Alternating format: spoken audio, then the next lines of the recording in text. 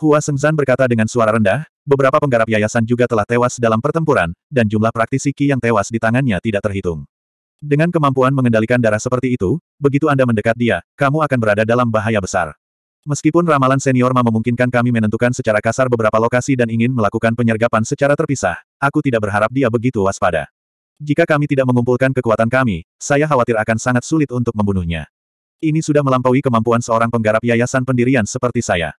Semua orang kecewa. Mereka tidak bisa menginvestasikan terlalu banyak kekuatan dalam penyergapan seperti jaring.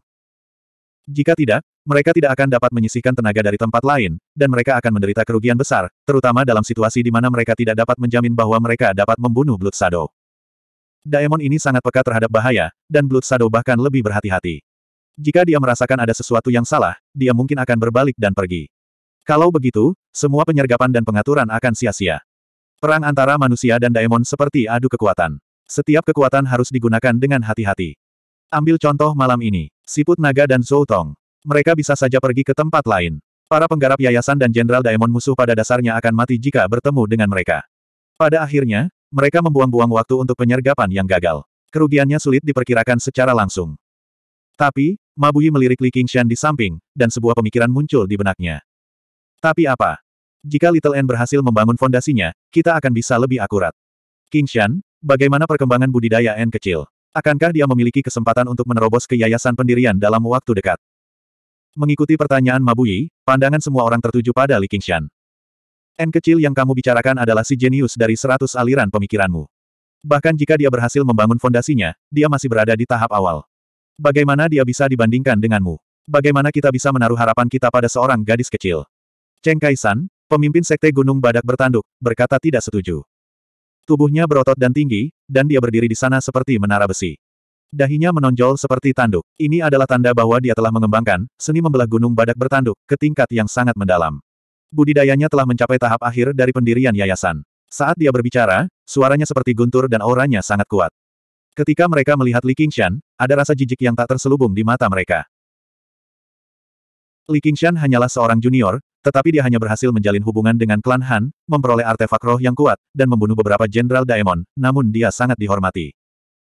Beberapa tahun yang lalu, Li Qingshan secara terbuka mengalahkan kakak tertua Gunung Badak bertanduk, menyebabkan Cheng Kaisan kehilangan muka. Setelah itu, Li Qingshan telah menerobos ke ranah yayasan pendirian, tetapi kakak laki-laki tertua itu masih seorang praktisi Qi. Pertempuran ini diyakini telah meninggalkan bayangan di hatinya. Meskipun itu tidak sampai pada titik di mana dia akan mengertakkan gigi karena kebencian dan memikirkan balas dendam setiap saat, tidak peduli bagaimana dia memandang Zhang Xuan, dia tidak tahan melihatnya. Yang lain juga sangat kecewa. Mereka mengira Mabui punya ide bagus. Bahkan orang jenius pun membutuhkan waktu untuk berkembang. Beralih dari praktisi Qi yang fana ke lapisan ke-10 hanya dalam beberapa tahun sudah sangat cepat, tetapi dia masih seorang praktisi Qi. Xiao An yang kamu bicarakan sepertinya tidak menunjukkan wajahnya sama sekali. Saat murid kita bertempur dalam pertempuran berdarah, dia bersembunyi di tempat yang aman. Bukankah itu sedikit tidak pantas? Seorang wanita bertanya. Dia adalah tetua sia dari Sekte Awan Merah. Li King San mengerutkan kening. Tepat ketika dia hendak membalas, Liu Changqing berkata terlebih dahulu, N kecil telah diterima sebagai murid langsung dari Master Anihilum Light Chan, jadi tidak pantas bagi kami untuk mengerahkannya sesuka kami. Jika dia terluka, kami menang, saya tidak bisa menjelaskannya kepada biara Chan Devanaga. Saya harap tetua sia dapat memahaminya. Huff, Bukan berarti kita kekurangan praktisi Qi. Melihat bagaimana perselisihan akan terjadi, Fu Qingjin menatap sekilas pada tetua Xia. Penatua Xia mendengus dingin dan tidak lagi berani melanjutkan masalah ini lebih jauh. Jika Little N benar-benar mati dalam kekacauan pertempuran dan Anihilum Light Chan Master menyelidiki masalah ini, Sekte Rose Cloud tidak akan mampu mengatasinya. Mabui menggelengkan kepalanya. Inilah yang tidak kamu ketahui. Ramalan berbeda dari teknik lainnya. Ramalan sangat menekankan pada bakat. N kecil dapat menggunakan yin, yang, dan lima elemen segera setelah dia mulai berkultivasi. Bakatnya dalam meramal benar-benar melebihi bakatku. Setelah saya mengajarinya rak buku awan tujuh lot, awalnya saya ingin membimbingnya dengan baik. Pada akhirnya, dia pada dasarnya memahami apa yang saya habiskan beberapa tahun untuk memahaminya dalam satu sore. Tidak banyak yang bisa saya bimbing dengannya. Bahkan tanpa Anihilum Light Chan Master dari Biara Chan Devanaga, saya tidak akan mengirimnya ke misi. Bakatnya jelas tidak terbatas pada menangani beberapa daemon. Sebaliknya, itu dapat mempengaruhi keseluruhan situasi. Selama dia diberi waktu, dia mungkin bisa mempengaruhi seluruh provinsi hijau. Paling tidak, saya dapat mengatakan dengan pasti bahwa jika dia dapat menerobos ke yayasan pendirian, ramalannya pasti akan melampaui ramalan saya. Kata-kata Mabuyi kembali menyulut harapan semua orang. Dalam pertempuran seperti ini, seorang praktisi ramalan tambahan yang kuat tidak kalah bergunanya dengan master puncak yayasan pendirian seperti Zhou Tong. Li Qingshan berkata, sebenarnya, N kecil telah memikirkan pemikiran pemimpin sekolah, Ma. Dia telah berusaha untuk menerobos ke yayasan pendirian baru-baru ini, jadi dia harusnya memiliki kepercayaan diri. Perkataan Li Qingshan tidak salah. Setelah Little N membunuh Strong Stone, Blood Shadow menjadi target berikutnya. Namun, keberadaan Blood Shadow tidak diketahui, jadi dia tidak bisa mencarinya di seluruh dunia. Sebagai hasilnya, dia mencoba menggunakan rak buku awan dari tujuh lot untuk mengetahui keberadaan Blood Shadow. Namun, kultivasinya sebagai praktisi ki pada akhirnya masih terlalu rendah, jadi dia ingin menerobos ke yayasan pendirian sebelum dia dapat meramalnya. Namun, dia ingin membunuhnya. Dia tidak pernah mempertimbangkan untuk bekerja dengan orang-orang ini. Mabuyi berkata, berikan pil pembangun fondasi ini padanya. Liu Changqing juga berkata, saya juga punya satu. Saya harap ini bisa membantunya, sehingga dia bisa membantu kita. Untuk membunuh musuh besar mereka, Blood Devil, mereka tidak pelit dengan pil pembangun fondasi mereka yang berharga. Dalam sekejap mata, mereka mengeluarkan empat pil pembangun fondasi, salah satunya adalah milik Fu Qingjin. Saya berterima kasih kepada semua orang atas nama Little N. Saya yakin dia tidak akan mengecewakan semua orang. Li Qingshan tidak berdiri pada upacara dan menerima pil pembangun fondasi. Little N akan membantu mereka menghadapi musuh besar mereka, Blood Shadow. Ini bisa dianggap sebagai balas dendam. King Shan, sebenarnya, alasan aku meneleponmu kembali kali ini adalah karena aku punya misi untukmu. Misi ini sangat berbahaya. Kamu bisa setuju atau menolak. Han Anjun sedikit mengernyit, seolah dia berada dalam posisi yang sulit. Perintah jenderal selalu seperti gunung. Ketika Anda memberi kami misi, apakah Anda pernah mendiskusikannya? Mengapa Anda ragu-ragu hari ini? Mungkinkah karena Li Qingshan adalah menantu Anda, Anda menjadi berhati lembut? Kata Cheng Kaisan dengan ketidakpuasan. Han Anjun hanya menanyakan satu pertanyaan, tapi itu membuat Cheng Kaisan terdiam. Di mana Han Tiyi? Han Tiyi juga dikirim oleh Han Anjun untuk menyergap Blood Shadow. Tingkat bahaya dari misi ini sudah jelas. Jika dia tidak berhati-hati, Blood Shadow akan menyedot darahnya hingga kering dan membunuhnya. Dengan kata lain, meskipun dia adalah putranya sendiri, dia tidak akan memihak, apalagi menantu. Saya telah membunuh lima Jenderal Daemon. Jika saya ingat dengan benar, pemimpin Sekte Cheng hanya membunuh dua. Jika Jenderal mempunyai instruksi, silakan berbicara dengan bebas. Li Qingshan bukanlah seorang pengecut. Begitu Han Anjun berbicara, Li Qingshan mengetahui topik utamanya. Dia melirik ke arah Cheng Kaisan dan menangkupkan tangannya. Aku ingin kamu pergi ke bawah tanah dan menjelajahi sarang Blood Shadow.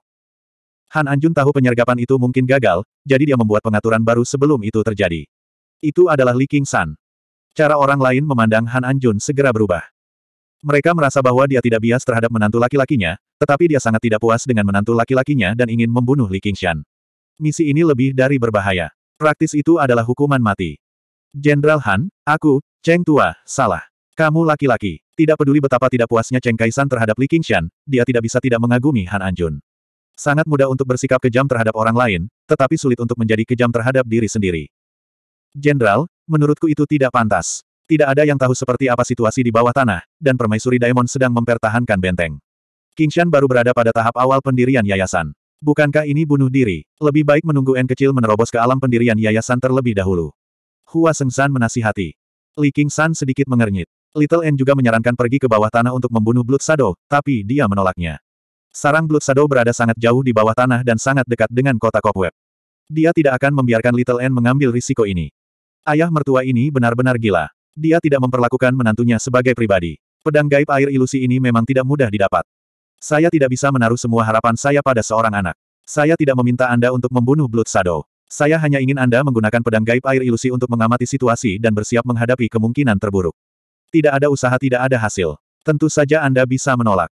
Saya setuju, tapi saya khawatir saya tidak bisa melakukannya sekarang. Li Qingshan dengan santai mengeluarkan pedang air gaib yang ilusi. Cahaya roh pedang itu tidak hanya redup, tetapi juga tidak transparan lagi. Dia mencobanya dan menemukan bahwa pedang gaib air ilusi tidak bisa lagi menyembunyikan sosoknya. 472. Apa yang sedang terjadi? Ekspresi Hanti menjadi gelap saat dia bertanya dengan sungguh-sungguh. Aku mengalami masalah dalam perjalanan, Li Qingshan dengan kasar menjelaskan penyergapan yang dilakukan oleh siput naga, tanpa meninggalkan detail tentang jantungnya yang tertusuk. Petik 2. Sayangnya, aku tidak bisa menyelamatkan mereka. Menurutku Jenderal Daemon bahkan lebih kuat dari Blood Demon dan Stone Demon. Jika kamu bertemu dengannya di masa depan, kamu harus berhati-hati. Setelah mendengarkan cerita Li Qingshan, semua orang tahu bahwa dia tidak hanya mengalami masalah. Dia hampir kehilangan nyawanya di luar. Jarang sekali ekspresinya tetap sama. Dia duduk dengan tenang di samping dan tidak menunjukkan ekspresi aneh apa pun saat dia mendengarkan mereka berbicara. Hanya ketika masalah ini diangkat barulah dia dengan tenang menceritakan kisahnya, seolah-olah orang lainlah yang mengalami krisis yang mengancam nyawa dan bukan dirinya. Sikap tenang ini sungguh mengejutkan. Han Anjun mengangguk puas, tapi dia tidak bisa menahan nafas. Kiongzi, oh Kiongzi, kamu benar-benar memiliki perhatian yang baik terhadap pria. Anak ini jelas bukan orang biasa. Jauh dari apa yang dapat Anda kendalikan. Cheng Kaisan mendengus dan berkata dengan ragu, jika iblis yang kamu sebutkan benar-benar sekuat itu, bagaimana kamu bisa melarikan diri dengan yayasan pendirian tahap awal? Apa yang lebih kuat dari Blood Demon dan Stone Demon? Saya khawatir Anda hanya melebih-lebihkan untuk menghindari tanggung jawab. Ini adalah bagian yang menakutkan tentang Dragon Snail. Faktanya, banyak penggarap yayasan pendirian yang mati di tangannya. Dia telah memimpin seluruh ras iblis dan berperang melawan umat manusia begitu lama, tetapi dia masih belum menampakkan dirinya dan tetap tidak diketahui. Terserah kamu apakah kamu percaya padaku atau tidak. Li Qingshan bersandar di kursinya dan tidak membantah.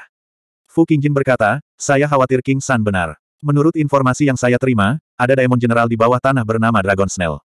Dia paling dipercaya oleh Ratu Laba-Laba. Namun, dalam tiga tahun terakhir, tidak pernah ada kabar dia berkelahi.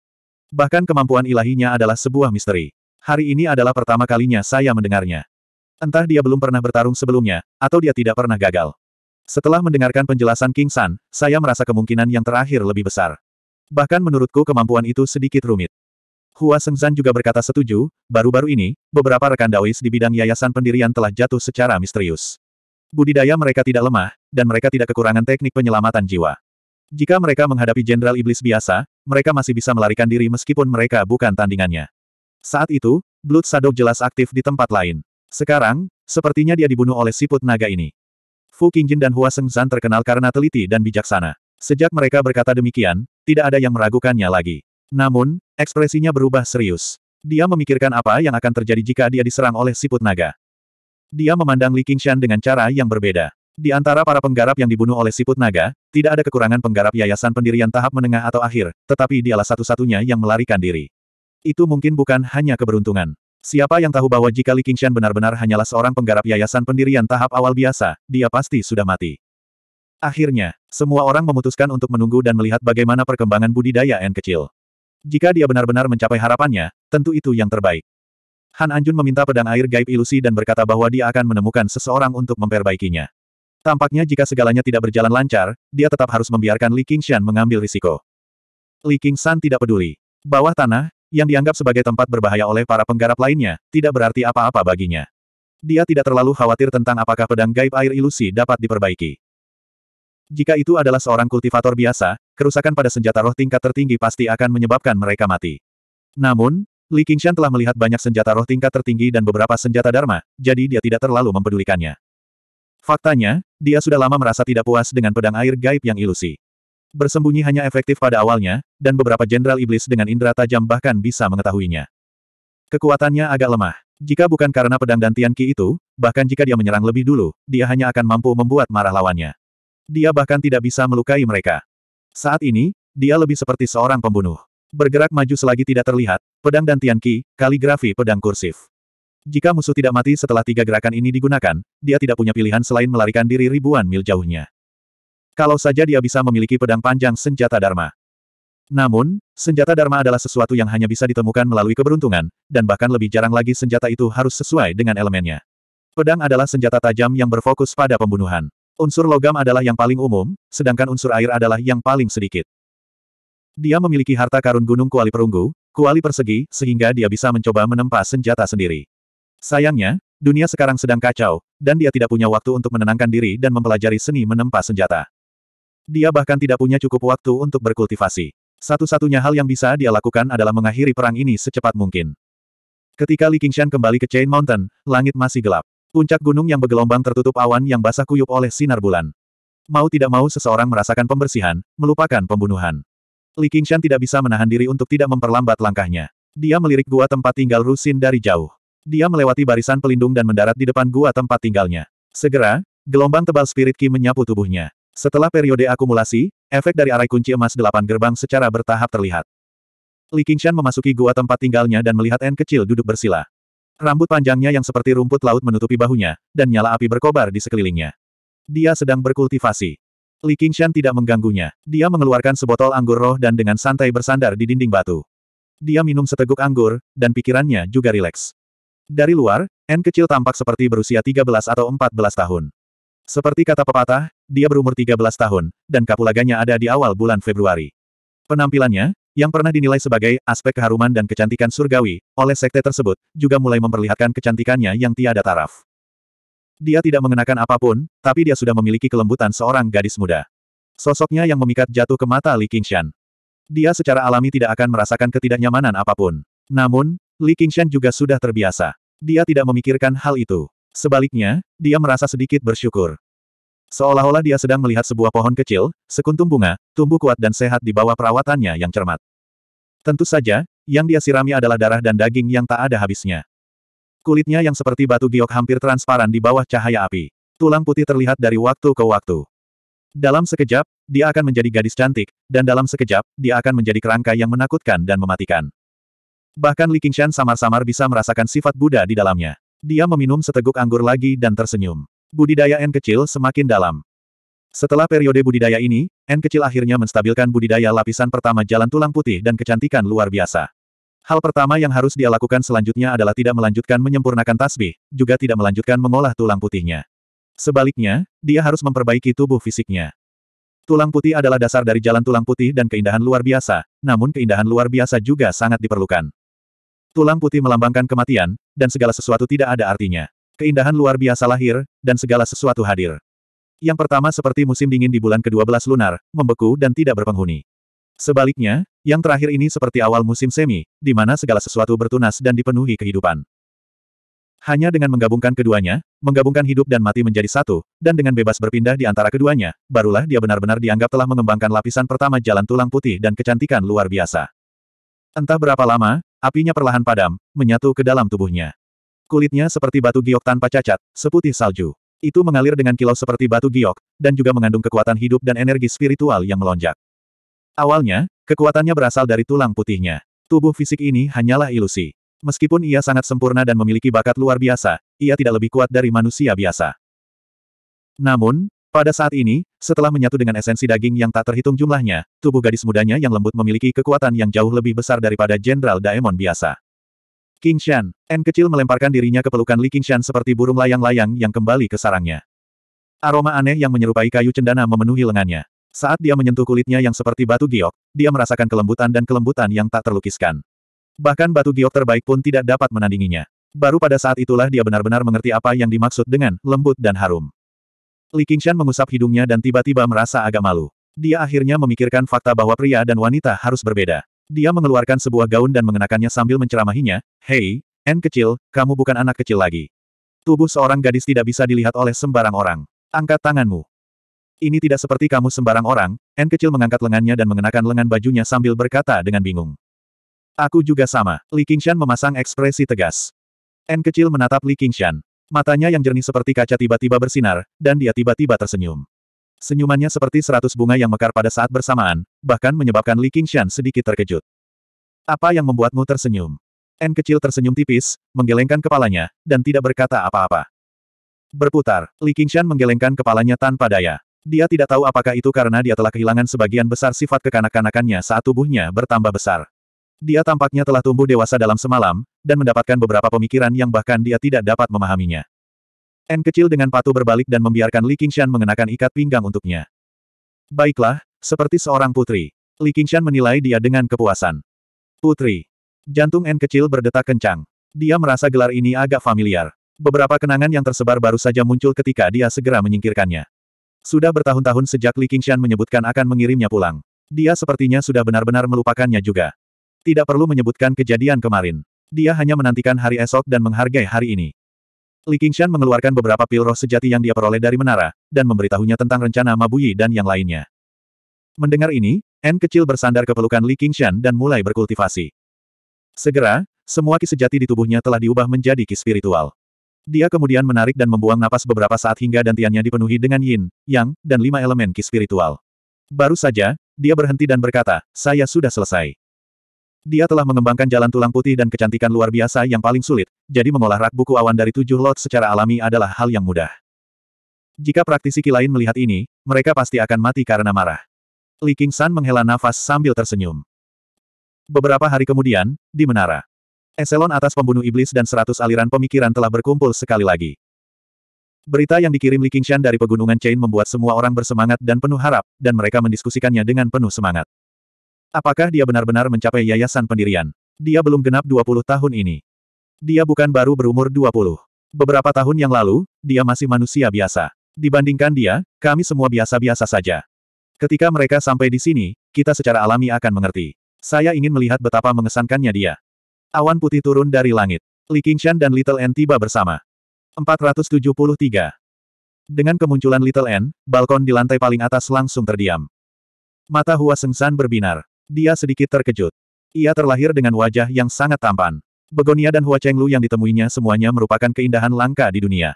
Kekasih impiannya adalah kecantikan tiada taraf seperti Gu Yanying. Awalnya, dia pikir dia tidak akan lagi merasa terkejut, tetapi pada saat itu, dia tidak bisa menahan perasaan terkejut. Yang lebih sulit dipercaya lagi adalah orang yang mengejutkannya adalah seorang gadis muda berusia 13 atau 14 tahun.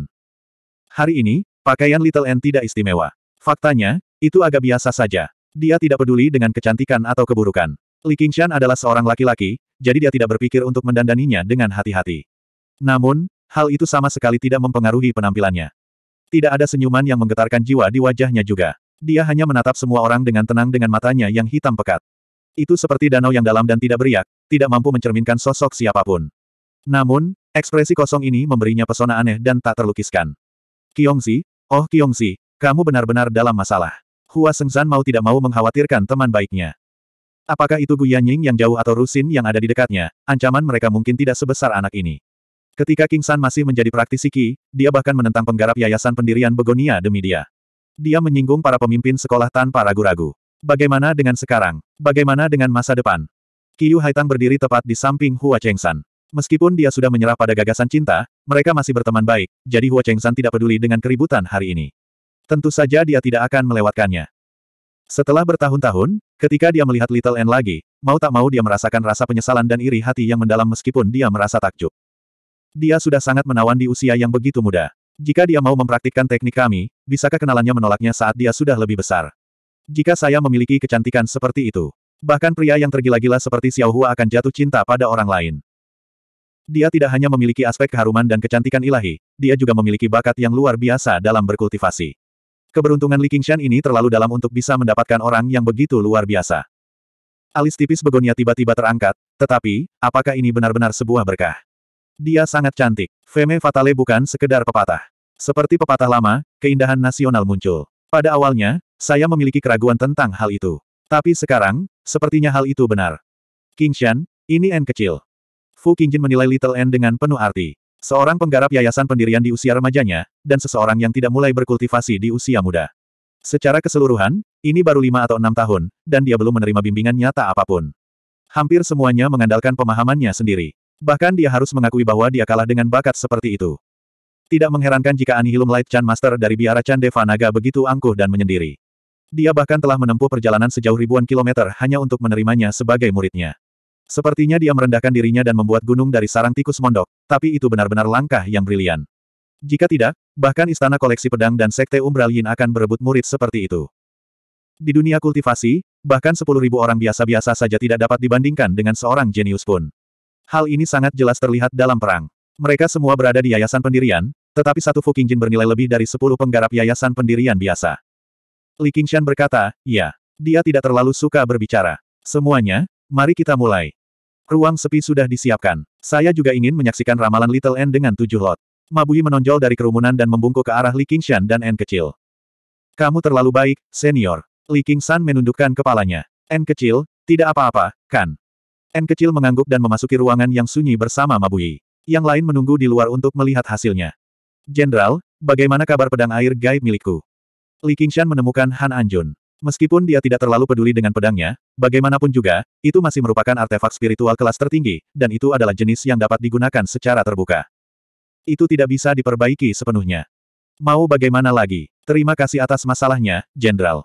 Hasil ini sesuai ekspektasi Li Qingshan. Apa pun yang dimuntahkan siput naga pasti bukan lelucon. Jika itu adalah artefak spiritual biasa, meskipun rusak ringan, itu hanya akan sedikit lebih lemah. Namun, kemampuan utama pedang air gaib adalah untuk menyembunyikan dirinya sendiri. Akan menjadi sia-sia jika itu mengungkapkan celah sekecil apa pun. Han Anjun mengeluarkan pedang biru lainnya dan hanya mengucapkan tiga kata. Nama pedangnya adalah pedang air berat. Mata Li King San berbinar. Itu adalah artefak spiritual tingkat tertinggi berelemen air lainnya. Benar saja, klan memang memiliki akar yang dalam.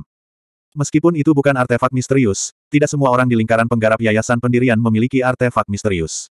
Kebanyakan orang masih menggunakan artefak spiritual tingkat tertinggi. Artefak misterius dan artefak spiritual hanya berbeda satu kata, namun efek, kekuatan, dan bahkan kuantitasnya sangat berbeda pastinya tidak bisa didapatkan dengan mudah. Di masa lalu, ketika Li Qingshan memimpin penjelajah malam dan memusnahkan beberapa sekte, hanya Gunung Kuali Perunggu dan sekte pakaian Vermilion yang memiliki artefak misterius. Itu semua adalah harta karun sekte, barang yang mewakili warisan sekte tersebut. Fakta bahwa Li Qingshan memiliki kaligrafi pedang kursif sudah lebih kuat dari kebanyakan orang. Dia juga tidak serakah. Pedang artefak spiritual tingkat tertinggi berelemen air sudah relatif langka. Setidaknya, itu bisa melepaskan kekuatan pedang ki di dantiannya. Karena ini hadiah dari ayah mertuaku, maka aku akan menerimanya. Li Qingshan bercanda dan menerima pedang air berat tanpa ragu-ragu. Benda itu sedikit tenggelam di tangannya. Pedang itu cukup berat.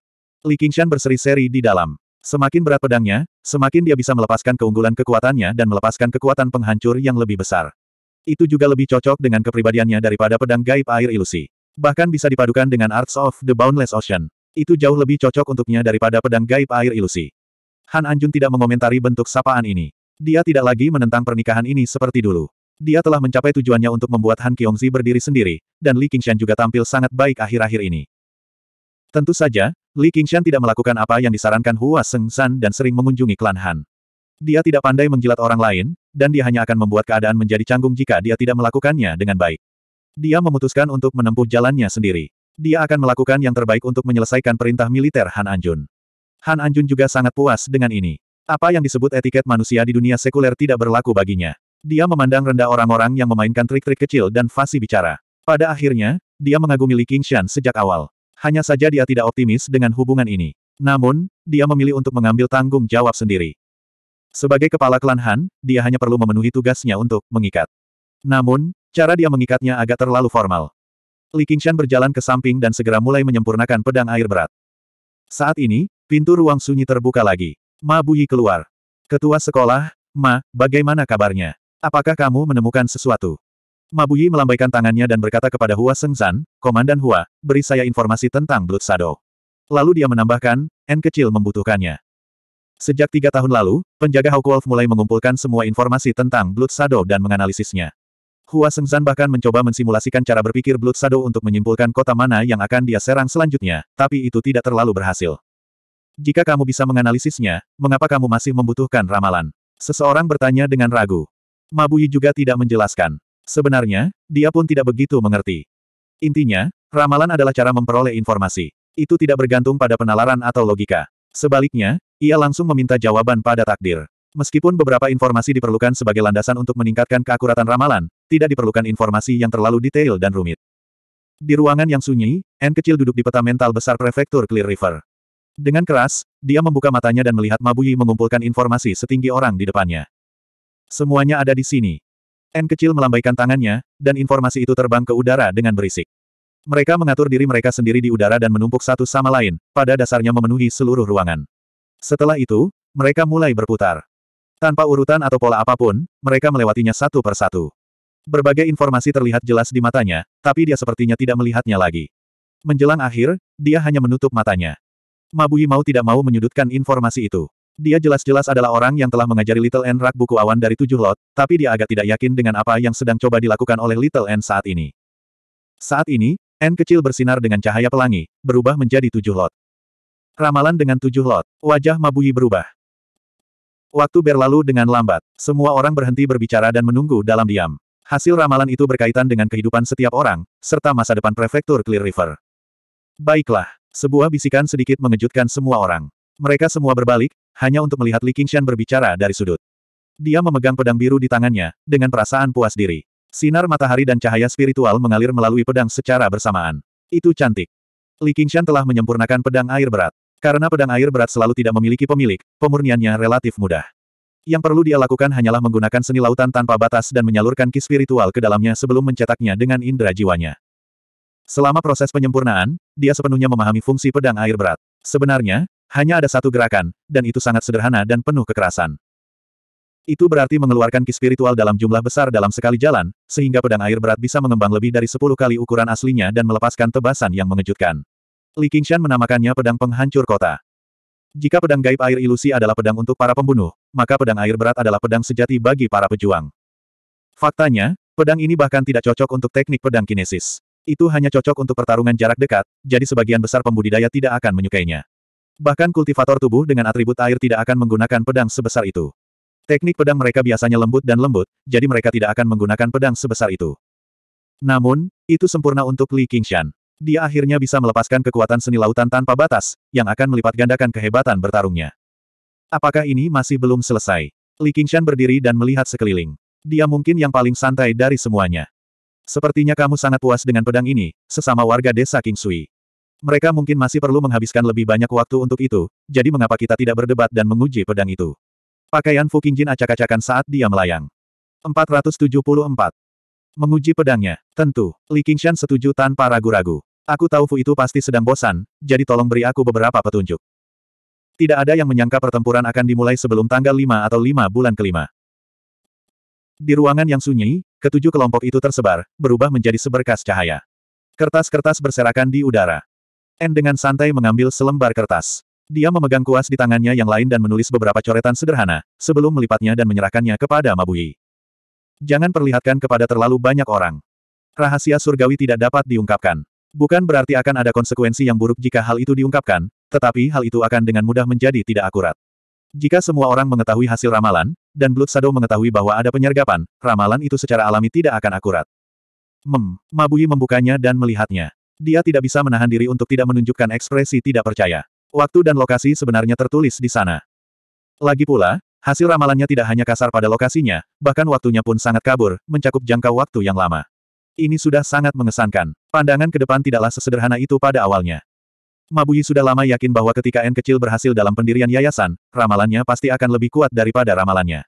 Namun, kenyataan membuat deduksinya menjadi sia-sia. Ini bukan hanya kuat, tapi juga terlalu kuat. Mengingat kembali beberapa hari yang lalu, ketika Wang Pusi memintanya untuk memprediksi keberadaan Blood Shadow, dia berkata, ini bukanlah sesuatu yang dapat dilakukan oleh seorang penggarap yayasan pendirian. Dia praktis tersipu. Ternyata, bukan penggarap yayasan pendirian yang tidak bisa melakukannya, tapi dia tidak bisa. Tunggu. N hendak membuka pintu dan pergi. Mabui memanggilnya dari belakang. N berhenti, tapi dia tidak berbalik, menunggu dia berbicara. Rekan N kecil, mohon pencerahannya. Apa gunanya informasi ini? Mabui membungkuk dalam-dalam. Karma. Karma yang dibicarakan oleh Little N adalah karma agama Buddha. Setiap sebab pasti mempunyai akibat. Alasan dia bisa secara akurat memprediksi keberadaan Blood Shadow bukan hanya karena bakatnya yang luar biasa. Itu juga karena ramalannya tidak lagi terbatas pada rak buku awan tujuh lot. Itu juga berasal dari jalan tulang putih dan keindahan luar biasa. Umat Buddha sangat menekankan karma dan siklus nasib dan reinkarnasi. Jika seorang pengikut Buddha ingin berkultivasi ke alam yang sangat tinggi, hampir mustahil bagi mereka untuk tidak berkultivasi dalam aspek ini. Fate Connection, bahkan langsung digunakan sebagai label sebuah dunia. Maha kuasa Buddha yang menjadi bodhisattva tulang putih. Bahkan yang terbaik di antara mereka tidak dapat mengetahui nasib mereka. Hak apa yang dia miliki untuk mengatakan bahwa dia ingin memusnahkan agama Buddha? Dalam jalur tulang putih dan keindahan luar biasa. Itu bahkan lebih mendalam daripada bab penempaan artefak dan alkimia. Itu tidak disebut bab ramalan, tapi bab takdir.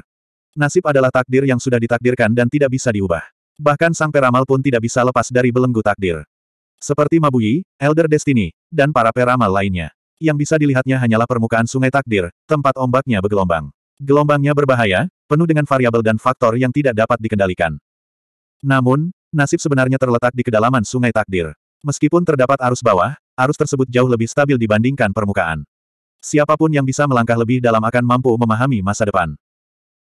Hanya setelah Little An menstabilkan budidaya lapisan pertama jalan tulang putih dan keindahan luar biasa dan menggunakan rak buku awan dari tujuh lot sebagai fondasinya, dia memperoleh sedikit pemahaman tentang koneksi takdir ini.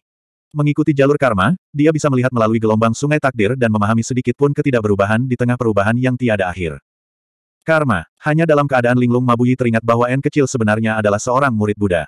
Namun, tidak ada yang bisa menghubungkan wanita muda yang tak tertandingi di hadapan mereka ini dengan lampu Buddha kuno. Selagi Mabui berpikir, N kecil sudah membuka pintu dan pergi. Sepertinya Fu memutuskan untuk bersikap lunak padaku. Li Qingshan mengamati sekeliling sebelum melihat Fu Qingjin. Prefektur Clear River padat penduduk dengan sungai dan danau. Li Qingshan dan Fu Qingjin saat ini berada di sebuah danau besar dekat kota prefektur. Tempat ini jelas sangat cocok bagi Li Qingshan untuk melepaskan kekuatannya, itulah sebabnya dia menanyakan pertanyaan ini sekarang. Pemandangan di sini sangat indah. Ini tempat yang bagus untuk menguji pedangmu. Aku juga ingin melihat batas ilmu pedangmu. Fu Qingjin tersenyum tipis. Kalau begitu awasi pedangku. Li Qingshan mencengkeram pedang air berat di punggungnya dan mengayunkannya sekuat yang dia bisa, menimbulkan gelombang besar yang menerjang ke arah Fu Qingjin. Fu Qingjin membentuk segel dengan tangannya, dan lampu hijau berkilauan di ujung jarinya. Dia mengayunkannya dengan lembut dari atas ke bawah, memotong gelombang seperti sedang memotong selembar kertas. Gelombangnya terbelah, dan sesosok tubuh muncul. Li Qingshan keluar dari gelombang. Pedang air berat diayunkan ke bawah dengan momentum membelah gunung dan sungai. Fu Qingjin sepertinya sudah mengantisipasi hal ini sejak lama. Dia mengabaikan pedang yang berayun dan menerjang ke depan. Dia menggunakan jarinya seperti pedang dan menusukkannya ke jantung Li Qingshan. Begitu mereka menyerang, itu adalah pertarungan sampai mati, pertarungan sampai mati. Ledakan. Ngarai besar muncul di permukaan danau yang tenang, menimbulkan gelombang besar setinggi beberapa meter dan mengguncang seluruh danau. Li Qingshan melewati Fu Qingjin, berdiri membelakangi satu sama lain. Bagus sekali. Kamu mempunyai bakat untuk menjadi pendekar pedang yang baik. Fu Qingjin berbalik, dan sehelai rambut tergerai. Benar-benar, bakat apa? Li Qingshan menoleh ke belakang. Hatinya sedikit sakit. Jika pedang ki di ujung jari Fu Qingjin menembus tiga inci lagi, pedang itu akan mencapai jantungnya. Tak kenal takut dalam menghadapi bahaya, berani menentukan hidup dan mati. Fu Qingjin menggunakan jarinya seperti pedang dan mengarahkannya ke tengah alisnya. Cahaya hijau bersinar, membuat alis dan rambutnya tampak hijau. Dengan lambaian tangannya, itu berubah menjadi lampu hijau sepanjang tiga kaki dan melintas. Bahkan sebelum pedang itu menyerang, momentum pedang itu seperti jaring besar, menyelimuti Li Qingshan dengan kuat. Niat pedang menekan bagian tengah alisnya, menyebabkan riak di lautan kesadaran Li Qingshan. Dia tidak bisa menahan perasaan putus asa dan emosi negatif. Dia merasa bahwa dia tidak dapat memblokir pedang ini sama sekali dan semua perjuangan sia-sia. Li Qingshan mengeluarkan raungan liar dan memotong niat pedang ini. Pedang air berat berubah menjadi lapisan bayangan pedang. Rasanya seperti seorang ahli kaligrafi sedang melambaikan kuasnya dan memercikkan tinta, menulis sebuah mahakarya kaligrafi yang megah. Dalam sekejap, itu menghancurkan momentum pedang Fu Qingjin. Sebelum permukaan danau menjadi tenang, muncul gelombang yang lebih besar. Di bawah kendali Li Qingshan, pedang itu berubah menjadi pedang ki yang tak ada habisnya dan menerkam ke arah Fu Qingjin. Teknik pedang yang luar biasa. Aku merasa seperti pernah melihatnya di suatu tempat sebelumnya. Fu Qingjin seperti perahu kecil di tengah amukan ombak. Saat ombak naik dan turun, sepertinya dia akan terbalik kapan saja. Namun, saat dia hanyut bersama ombak, dia tetap aman dan sehat. Hanya ketika dia tidak bisa lagi mengelak barulah dia menggunakan jari pedangnya untuk menebas dengan lembut dan menghindari bahaya. Dia telah mengamati teknik pedang Li Qingshan dengan cermat. Sebelumnya, Ketika Fu Qingjin dan Li Qingshan bekerja sama untuk menangani batu kuat, dia melihat sekilas teknik pedang Li Qingshan dan merasa itu agak familiar. Sekarang setelah dia melihatnya lagi, perasaan keakraban muncul kembali. Teknik pedang Li Qingshan dan Little N berasal dari kaligrafi pedang kursif. Fu Qingjin memiliki pengalaman berdebat dengan Little N sebelumnya, jadi rasa keakraban ini bukan tanpa alasan. Dia menghabiskan seluruh hidupnya mempelajari pedang, jadi kepekaan dan pemahamannya terhadap teknik pedang melampaui ingatannya tentang wajah.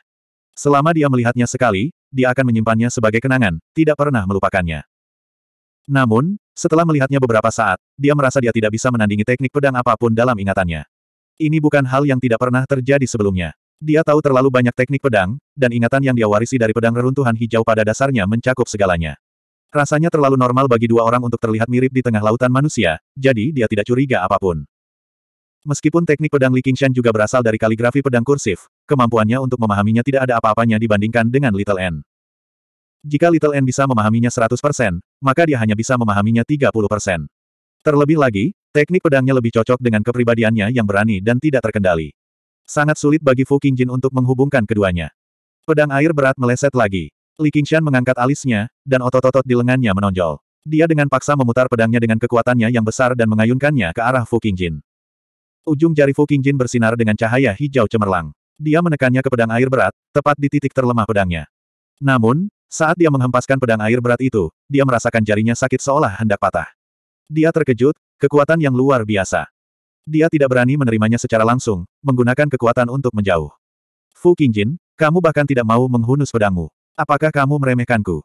Li Qingshan dipenuhi dengan niat bertarung. Dia tidak lagi peduli dengan kesopanan palsunya. Dengan dentang, dia meletakkan pedang air berat di bahunya dan berseru dengan lugas. Mengayunkan pedang ini tidak hanya membutuhkan banyak kekuatan, tetapi juga menghabiskan banyak energi spiritual. Namun, saat ini, Arts of the Boundless Ocean menunjukkan pengaruhnya. Energi spiritual yang dikonsumsi dengan cepat terisi kembali, dan tidak ada tanda-tanda kekurangan energi. Pedang reruntuhan hijau ini tidak akan mengarah pada teman. Anda tidak ingin pedang yang baru Anda peroleh rusak saat ini juga bukan. Fu Qingjin mengelus gagang pedangnya dengan lembut dan tersenyum dengan sangat anggun. Dia seperti seorang raja yang sopan yang telah melakukan tiga kali kunjungan ke sebuah pondok jerami untuk melakukan percakapan dari hati ke hati dengan para jenderal dan ahli strategi yang dia sukai. Tidak ada sedikit pun kemunafikan. Li Qingshan merasa mual. Siapa temanmu? Dalam satu bulan lagi, aku akan menebasmu secara pribadi. Fu Qingjin melanjutkan, ilmu pedangmu sangat bagus, tapi sepertinya tidak lengkap. Saat kamu berbalik, ada beberapa belenggu, jadi akan ada celah. Bukaan apa? Selama aku bisa membunuh, tidak apa-apa. Li Qingshan tidak bisa tidak mengagumi Fu Qingjin. Bajingan ini benar-benar mengesankan dengan cara pedangnya, jauh melampaui dirinya. Dia benar-benar bisa melihat kekurangan dalam ilmu pedangnya dalam bentrokan singkat. Ketika benar-benar terjadi pertarungan hidup dan mati di masa depan, dia mungkin akan sedikit menderita dalam aspek ini. Terlepas dari bakat dan kerja keras Fu Qingjin sendiri, warisan dari pedang reruntuhan hijau juga memainkan peran besar dalam hal ini. Para ahli pedang reruntuhan hijau di masa lalu semuanya adalah sosok yang luar biasa. Meskipun tubuh mereka sudah tidak ada lagi, hati pedang mereka tetap berada di dalam pedang selamanya. Fu Qingjin berkata, tolong pinjamkan aku pedang ini sebentar. Ambil. Li Qingshan terkejut sebelum dengan santai melemparkan pedang air berat itu. Saya ingin melihat apa yang Anda rencanakan. Saat Fu Qingjin mencengkeram gagangnya, kehadirannya tiba-tiba berubah, menjadi liar dan sulit diatur. Dia mengayunkan pedang air berat, melepaskan gaya pedang yang kuat, liar, dan berani. Tampaknya tidak asing lagi bagi Li Qingshan. Bukankah ini gaya pedangku? Namun, semua celah telah dibuat. Dia bisa berputar dan berputar sesuai keinginannya, mengalir terus-menerus. Dia mengayunkannya semakin bebas, dan itu menjadi semakin kuat. Gaya pedang ini tidak sesuai dengan temperamenku. Aku tidak bisa melepaskan kekuatan penuhnya. Baru saja, ini hanya bisa menjadi demonstrasi. Saya harap ini dapat membantu Anda. Kita harus kembali. Pada saat itu, Fu Qingjin menarik kembali gaya pedangnya dan melemparkan pedang air berat kembali ke Li Qingshan. 475. Li Qingshan mau tidak mau merasa bahwa itu tidak masuk akal. Apakah musuh mengajarinya ilmu pedang? Namun, dia tidak akan melepaskan kesempatan apa pun untuk memperbaiki diri. Dia menghafal ilmu pedang yang baru saja dilakukan Fu Qingjin. Dengan kebencian yang mendalam di hadapannya, bantuan kecil semacam ini tidak cukup untuk membuatnya goyah. Musim semi berlalu dan musim panas tiba. Cuacanya panas dan lembab. Awan gelap tebal menumpuk di langit, menunggu hujan lebat. Burung gagak berkokok dengan berisik dan berputar-putar di langit, tidak mau mendarat. Itu seperti biji wijen hitam yang tersebar di langit. Jika seseorang dapat mengamati lintasan semua burung gagak dan mengamatinya selama satu jam, mereka mungkin dapat menemukan semacam pola. Seberkas cahaya merah darah menyapu tanah, menimbulkan hembusan angin. Beberapa burung gagak terkoyak, dan bulu hitamnya rontok. Namun, bulu hitam pekat itu menghilang sebelum bisa mendarat di tanah. Itu di sini. Li Qingshan berbisik ke tablet giok komunikasi. Dia berdiri di atas gunung yang tinggi, menatap bayangan hitam yang muncul di cakrawala dari tempat yang sangat jauh. Ada sebuah kota di sana. Sekarang, itu adalah jebakan. Dia tidak maju dengan tenang. Dengan pengembangan yayasan pendirian tahap awal, dia tidak memenuhi syarat untuk berpartisipasi dalam operasi ini. Tentu saja ini juga sebagai bentuk perlindungan. Langit gelap seperti senja. Blood Shadow sudah berdiri di depan gerbang kota. Tiba-tiba, dia merasakan kegelisahan, seolah-olah ada sesuatu yang sedang terjadi, seperti awan di langit. Di saat yang sama, darah segar dan menggoda dengan aroma harum pun menarik perhatiannya. Ledakan yang menggelegar terdengar, menyebabkan jantungnya berdetak kencang. Dia memikirkan guntur ilahi yang dipanggil oleh penganut Tao yang jorok. Dia tersenyum menghina. Dengan hidung sapi itu, bahkan jika dia bertemu dengannya sepuluh atau seratus kali, dia masih bisa melarikan diri dengan selamat. Bahkan binatang buas biasa pun bisa merasakan datangnya kematian. Pada tingkat kultivasinya, indranya bahkan lebih tajam. Dia tidak merasakan bahaya apa pun yang mengancam nyawanya, jadi dia melangkah ke kota tanpa khawatir. Seekor burung gagak bertengger di atas gerbang kota. Dengan suara yang aneh, ia terbang tinggi ke langit. Ramalanmu sangat akurat. Sepertinya kamu tidak perlu melakukan apa pun kali ini. Li Qingshan tersenyum cerah dan melihat ke belakang. Duduk di atas batu biru di bawah pohon pinus besar, dia memandangi seekor cacing kecil di dahan pinus, rambut panjangnya yang seperti rumput laut tergerai longgar di bahunya. Dia diam seperti anggrek ketika mendengar kata-kata Li Qingshan. Dia menggelengkan kepalanya dengan lembut. Dia tidak akan mati di sini. Apa, bukankah kamu sudah menduga bahwa Blood Shadow akan datang?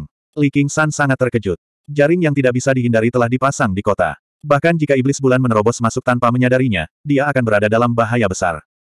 Saya hanya mengatakan bahwa dia akan datang, bukan bahwa dia akan mati. N kecil tersenyum nakal. Baru sekarang dia terlihat seperti gadis muda. Sebaliknya, saya yakin dia tidak akan mati di sana.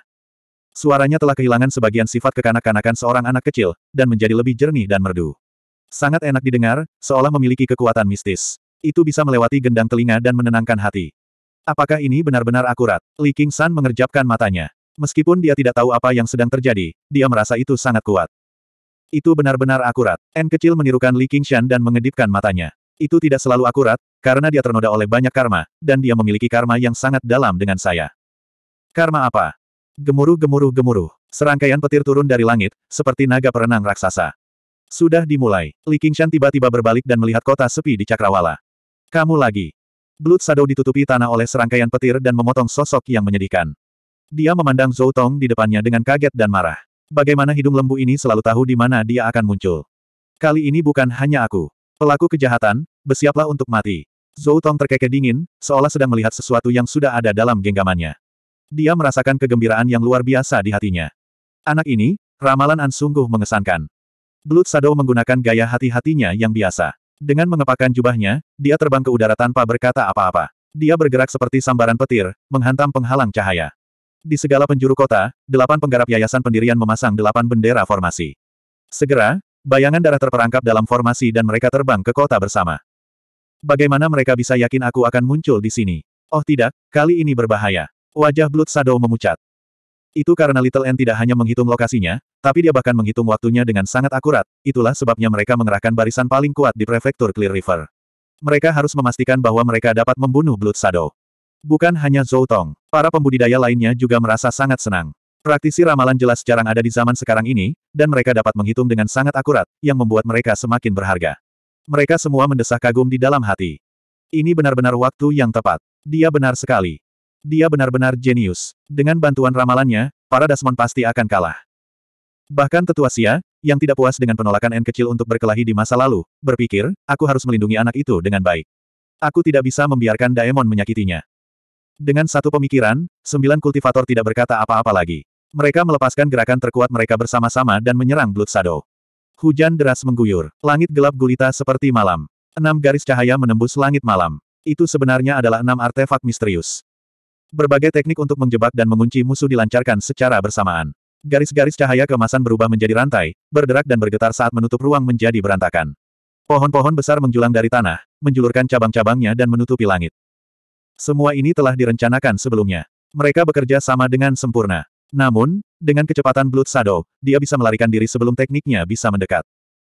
Salah satu dari sembilan kultivator, seorang kultivator berwajah putih dengan bibir merah dan gigi putih, mengenakan jubah hitam, membuka mulutnya dan mengucapkan satu kata kepada Blood Shadow, bekukan. Suaranya tidak nyaring, tapi jelas sampai ke telinga semua orang. Bahkan Li Qingshan, yang berada seratus mil jauhnya, samar-samar bisa mendengar kata, membeku. Ini adalah kutukan pembekuan yang terkenal. Kali ini, Blood Shadow benar-benar tidak bisa lepas. Li King San tertawa. Ratusan aliran pemikiran masing-masing memiliki teknik uniknya sendiri. Aliran pemikiran terkenal pandai membedakan antara kebenaran dan kepalsuan. Mereka menggunakan kata-kata untuk menjelaskan kebenaran langit dan bumi. Mereka mewarisi teknik kutukan dari para pembudidaya kuno. Mereka dikatakan mampu melukai musuh secara tidak terlihat. Dan di antara ribuan kutukan, yang paling terkenal mungkin adalah kutukan beku ini. Itu lebih berguna dibandingkan teknik lainnya untuk menjebak musuh. Dalam sekejap, Blood Shadow tidak bisa bergerak. Dia hanya bisa menyaksikan tanpa daya ketika energi spiritual emas berubah menjadi rantai dan mengikatnya dengan erat. Pohon-pohon besar membentuk sangkar yang sangat besar. Tujuh atau delapan artefak spiritual dan artefak misterius membombardirnya bersama-sama, menghancurkannya hingga hancur berkeping-keping. Iblis darah itu masih hidup. Jangan berhenti, semuanya. Liu Changqing memanggil dari atas. Logam, kayu, air, api, dan tanah, berbagai teknik kuat dari lima elemen, semuanya menyambut Blood Shadow. Khususnya, pendeta Daois Jorok Zoutong mengarahkan pedang kayu pembantaian petir ke langit. Guntur terdengar tanpa henti. Sambaran petir tebal yang terus-menerus berkelap-kelip dan berputar menembus sekeliling, menolak untuk berhenti bahkan setelah waktu yang sangat lama. Kutukan pembekuan dari pemimpin aliran pemikiran datang satu demi satu, mengganggu setiap upaya Blood Shadow untuk melarikan diri. Burung gagak yang disulap Li Qingshan dari kekuatan keyakinan terbang ke kejauhan dan mengamati dari atas. Mereka melihat semuanya terungkap dari berbagai sudut. Mereka diam-diam terkejut. Pengepungan seperti ini terlalu menakutkan. Apalagi melarikan diri, dia bahkan tidak punya kesempatan untuk melawan. Begitu dia menerobos pengepungan satu teknik, tujuh atau delapan teknik mendarat padanya. Jika itu aku, aku mungkin hanya bisa menopang cangkang mendalam penyuruh dan menyaksikan Daemon Kiku habis. Tidak peduli berapa banyak Daemon Ki yang ada, tidak peduli seberapa cepat ia pulih, konsumsi semacam ini tidak dapat dipertahankan. Meski begitu, menjatuhkan jebakan seperti ini lebih mudah diucapkan daripada dilakukan. Baik itu daemon atau kultivator, mereka semua memiliki indera yang sangat tajam terhadap bahaya yang mengancam jiwa. Jika dia tidak bisa memprediksi pergerakan mereka sebelumnya, bahkan jika Blood Shadow menghadapi mereka sembilan, dia bisa datang dan pergi sesuka hatinya, seolah-olah tidak ada orang di sana. Yang lebih menakutkan lagi adalah teknik ramalan. Tidak, saya memiliki inti daemon penyuruh, jadi saya pasti sangat berbakat dalam aspek ini. Saya perlu belajar lebih banyak dari Little N di masa depan. Li Qingshan berbalik dan bertanya, Oh benar, apa yang kamu maksud dengan karma tadi? Blood Shadow pasti sudah mati, namun kamu tetap mengatakan dia tidak akan mati di sini. Tunggu aku di sini. N kecil melompat dari batu dan melesat ke kejauhan. Ke mana kamu pergi? Untuk membunuh bayangan darah. N kecil tersenyum. Tapi Blood Shadow tidak mengarah ke sana. Li Qingshan baru saja hendak mengejarnya, tetapi setelah berpikir beberapa lama, dia masih berhenti. Karena Little N membuatnya menunggu di sini, dia pasti punya alasannya. Dia tidak mengkhawatirkan keselamatan Little N. Setelah mencapai lapisan pertama jalan tulang putih dan kecantikan luar biasa, satu-satunya yang bisa menimbulkan ancaman yang mengancam nyawanya mungkin adalah Ratu Laba-Laba dan pria yang terkubur jauh di dalam magma. Dia tidak perlu terlalu khawatir. Namun, saat dia menyaksikannya menghilang ke cakrawala, dia merasakan perasaan melankolis yang aneh, seolah-olah anak itu telah tumbuh dan mengembangkan idenya sendiri. Jika dia masih tidak meningkatkan kekuatannya, dia benar-benar tidak akan mampu melakukannya. Dia bahkan tidak bisa kalah dari Little N. Itu bahkan akan melampaui tekanan yang dia rasakan dari Fu Qingjin dan Dragon Snail. Darah iblis, hari ini akan menjadi hari kematianmu. Melihat bagaimana iblis darah itu hampir mati, Zhou Tong tertawa keras. Kepala keluarga Ming sudah mengucapkan kata, beku, sebelas kali berturut-turut. Dia telah mencapai batasnya, jadi dia menghela nafas lega. Blood Shadow, yang telah berubah menjadi segumpal daging berwarna merah darah, tiba-tiba terpisah dan terpelintir. Wajah penuh kebencian muncul di permukaannya. Kemampuan bawaan, Bloodlight Divine Escape. Dengan keras, gumpalan daging itu tiba-tiba meledak. Kekuatan kekerasan menyingkirkan semua artefak dan teknik misterius. Salah satu inti daemon berwarna merah darah berputar dan berubah menjadi seberkas cahaya berdarah dengan suara mendesing. Hentikan dia, Liu Changqing berkata dengan tergesa-gesa. Tanpa menunggu dia mengatakan apa pun, Zhou Tong menunjukkan, dan sambaran petir menyambar seperti naga. Ketika seberkas cahaya berdarah bersentuhan dengan formasi, ia benar-benar melewatinya dan melesat melintasi langit. Petir menyambar layar cahaya dengan keras. Semua orang di kota itu tercengang. Bahkan pada titik ini, Blood Shadow masih berhasil melarikan diri. Iblis darah hanya memiliki inti daemon yang tersisa. Dia mungkin sudah mati, kata Liu Changqing dengan susah payah. Semua orang ingin mempercayai ini, tapi tidak ada yang bisa mempercayainya. Pada saat itu, terlihat jelas bahwa iblis darah telah mengambil inisiatif untuk meninggalkan tubuhnya dan melarikan diri. Apakah bayangan darah sudah mati? Tentu saja tidak. Cahaya berdarah itu terbang ribuan mil jauhnya sebelum berhenti dan mendarat di tanah. Lapisan daging dan darah segera mulai tumbuh. Dalam sekejap mata, ia berubah menjadi kelelawar darah yang mengepakkan sayapnya. Setelah beberapa saat, ia berubah menjadi manusia. Kelihatannya aman dan sehat, tapi wajahnya pucat tanpa bekas darah. Silakan kumpulkan. 476. Dia benar-benar lolos, kata Ye Zichen. Li King San bergumam. Arah keluarnya cahaya darah itu persis ke arah Little N pergi. Memikirkan ekspresi buruk Zhou Tong dan yang lainnya, dia tidak bisa menahan senyum.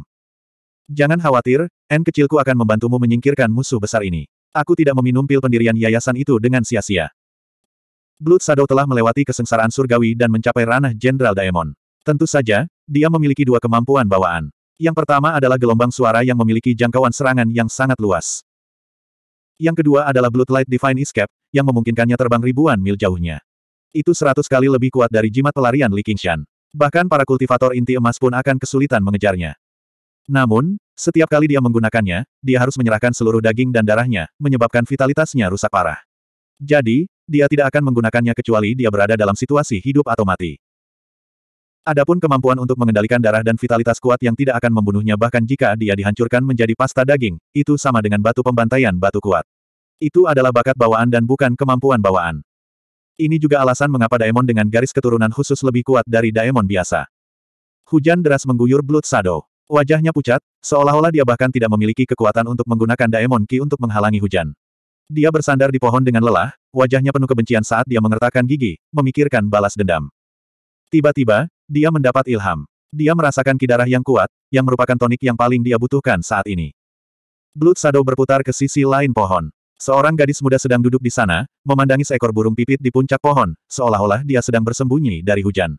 Mendengar keributan itu, dia menundukkan kepalanya, dan matanya yang jernih mencerminkan siluet Scarlet Shadow. Dia tanpa ekspresi. Pembudidaya Yayasan Pendirian. Hati Blood Shadow bergetar saat dia merasakan roh ki di tubuh gadis muda itu. Dia sudah ketakutan. Takut kalau itu jebakan lain, dia ingin mundur. Gadis muda itu tidak bergerak. Di bawah kulitnya yang seperti batu giok, darah mengalir, mengeluarkan aroma yang mempesona. Blood Shadow belum pernah mencium aroma yang begitu memikat. Guntur bergemuruh tanpa henti. Pohon itu menopang sebuah dunia kecil, dan di luarnya ada tirai hujan. Kamu sebenarnya berani dipaksa berada dalam jarak sedekat itu olehku. Anda kurang beruntung. Aku akan menyedot darahmu untuk memulihkan energi iblis. Blood Shadow perlahan menjadi tenang. Dengan kecepatannya, jarak beberapa kaki hampir tidak ada. Dia membuka tangan pucatnya dan mengarahkannya ke jantung gadis itu. Darah di tubuh gadis muda itu mendidih dan mengalir ke arah yang berlawanan. Dengan letupan, benda itu keluar dari tubuhnya. Blood Shadow menelan seteguk besar darah dan segera merasa segar. Baunya terlalu manis. Namun, yang membuatnya merasa aneh adalah gadis itu tidak melawan atau melawan. Dia bahkan tidak menunjukkan sedikit pun rasa sakit atau ketakutan. Dia hanya menatapnya tanpa ekspresi, membuatnya, iblis darah yang telah membunuh banyak orang, merasa seperti dia akan mati. Dia juga merasakan kegelisahan yang aneh. Ibarat katak yang diincar ular, di bawah ancaman predator alaminya, seluruh tubuhnya menjadi kaku, tidak mampu bergerak. Apa yang kamu lihat? Bayangan darah kesal. Tangannya terulur seperti kilat ke arah sepasang mata yang cerah itu. Ujung jarinya masih berjarak satu inci dari matanya. Tubuh Blood Shadow membeku. Apa yang sedang terjadi? Kenapa? Kenapa aku tidak bisa bergerak? Katak itu tidak menyadarinya, tetapi racun yang mematikan telah disuntikan. Darah yang diserap dan diintegrasikan oleh Blood Shadow ke setiap bagian tubuhnya tiba-tiba berubah menjadi api dan terbakar dengan ganas. Dengan ledakan, api sama di tulang putih mengalir keluar dari setiap pori-pori di tubuh Blood Shadow, menyulutnya dan mengubahnya menjadi obor. Nyala api bergoyang dan bersorak saat menyulut darah, daging, dan tulang Blood Shadow. Namun, jiwanya membeku, dan dia hanya bisa menyaksikan dirinya terbakar. Vitalitas kuat yang diandalkan untuk menjadi terkenal dan bangga kini telah menjadi bahan bakar terbaik untuk kobaran api. Dalam sekejap, mata Blood Shadow menunjukkan rasa takut yang mendalam. Kamu bukan manusia. Rasa takutnya hilang, dan matanya terasa kosong. Kata-katanya terhenti, dan lidahnya berubah menjadi api. Inti iblis darah terbang ke kejauhan dengan swoosh. Kaulah yang bukan manusia. Mata seorang Ming menoleh, dan dia mengulurkan tangan untuk mengambil inti iblis darah. Inti iblis darah bergetar hebat di telapak tangannya.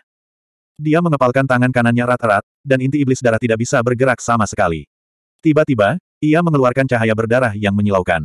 Dia tidak lagi punya harapan untuk melarikan diri. Dia ingin meledakkan intinya dan membawanya turun bersamanya. Tangan kirinya mengepal, dan jiwa setengah transparan yang seperti asap atau kabut dikeluarkan secara paksa. Itu agak mirip dengan Blood Shadow.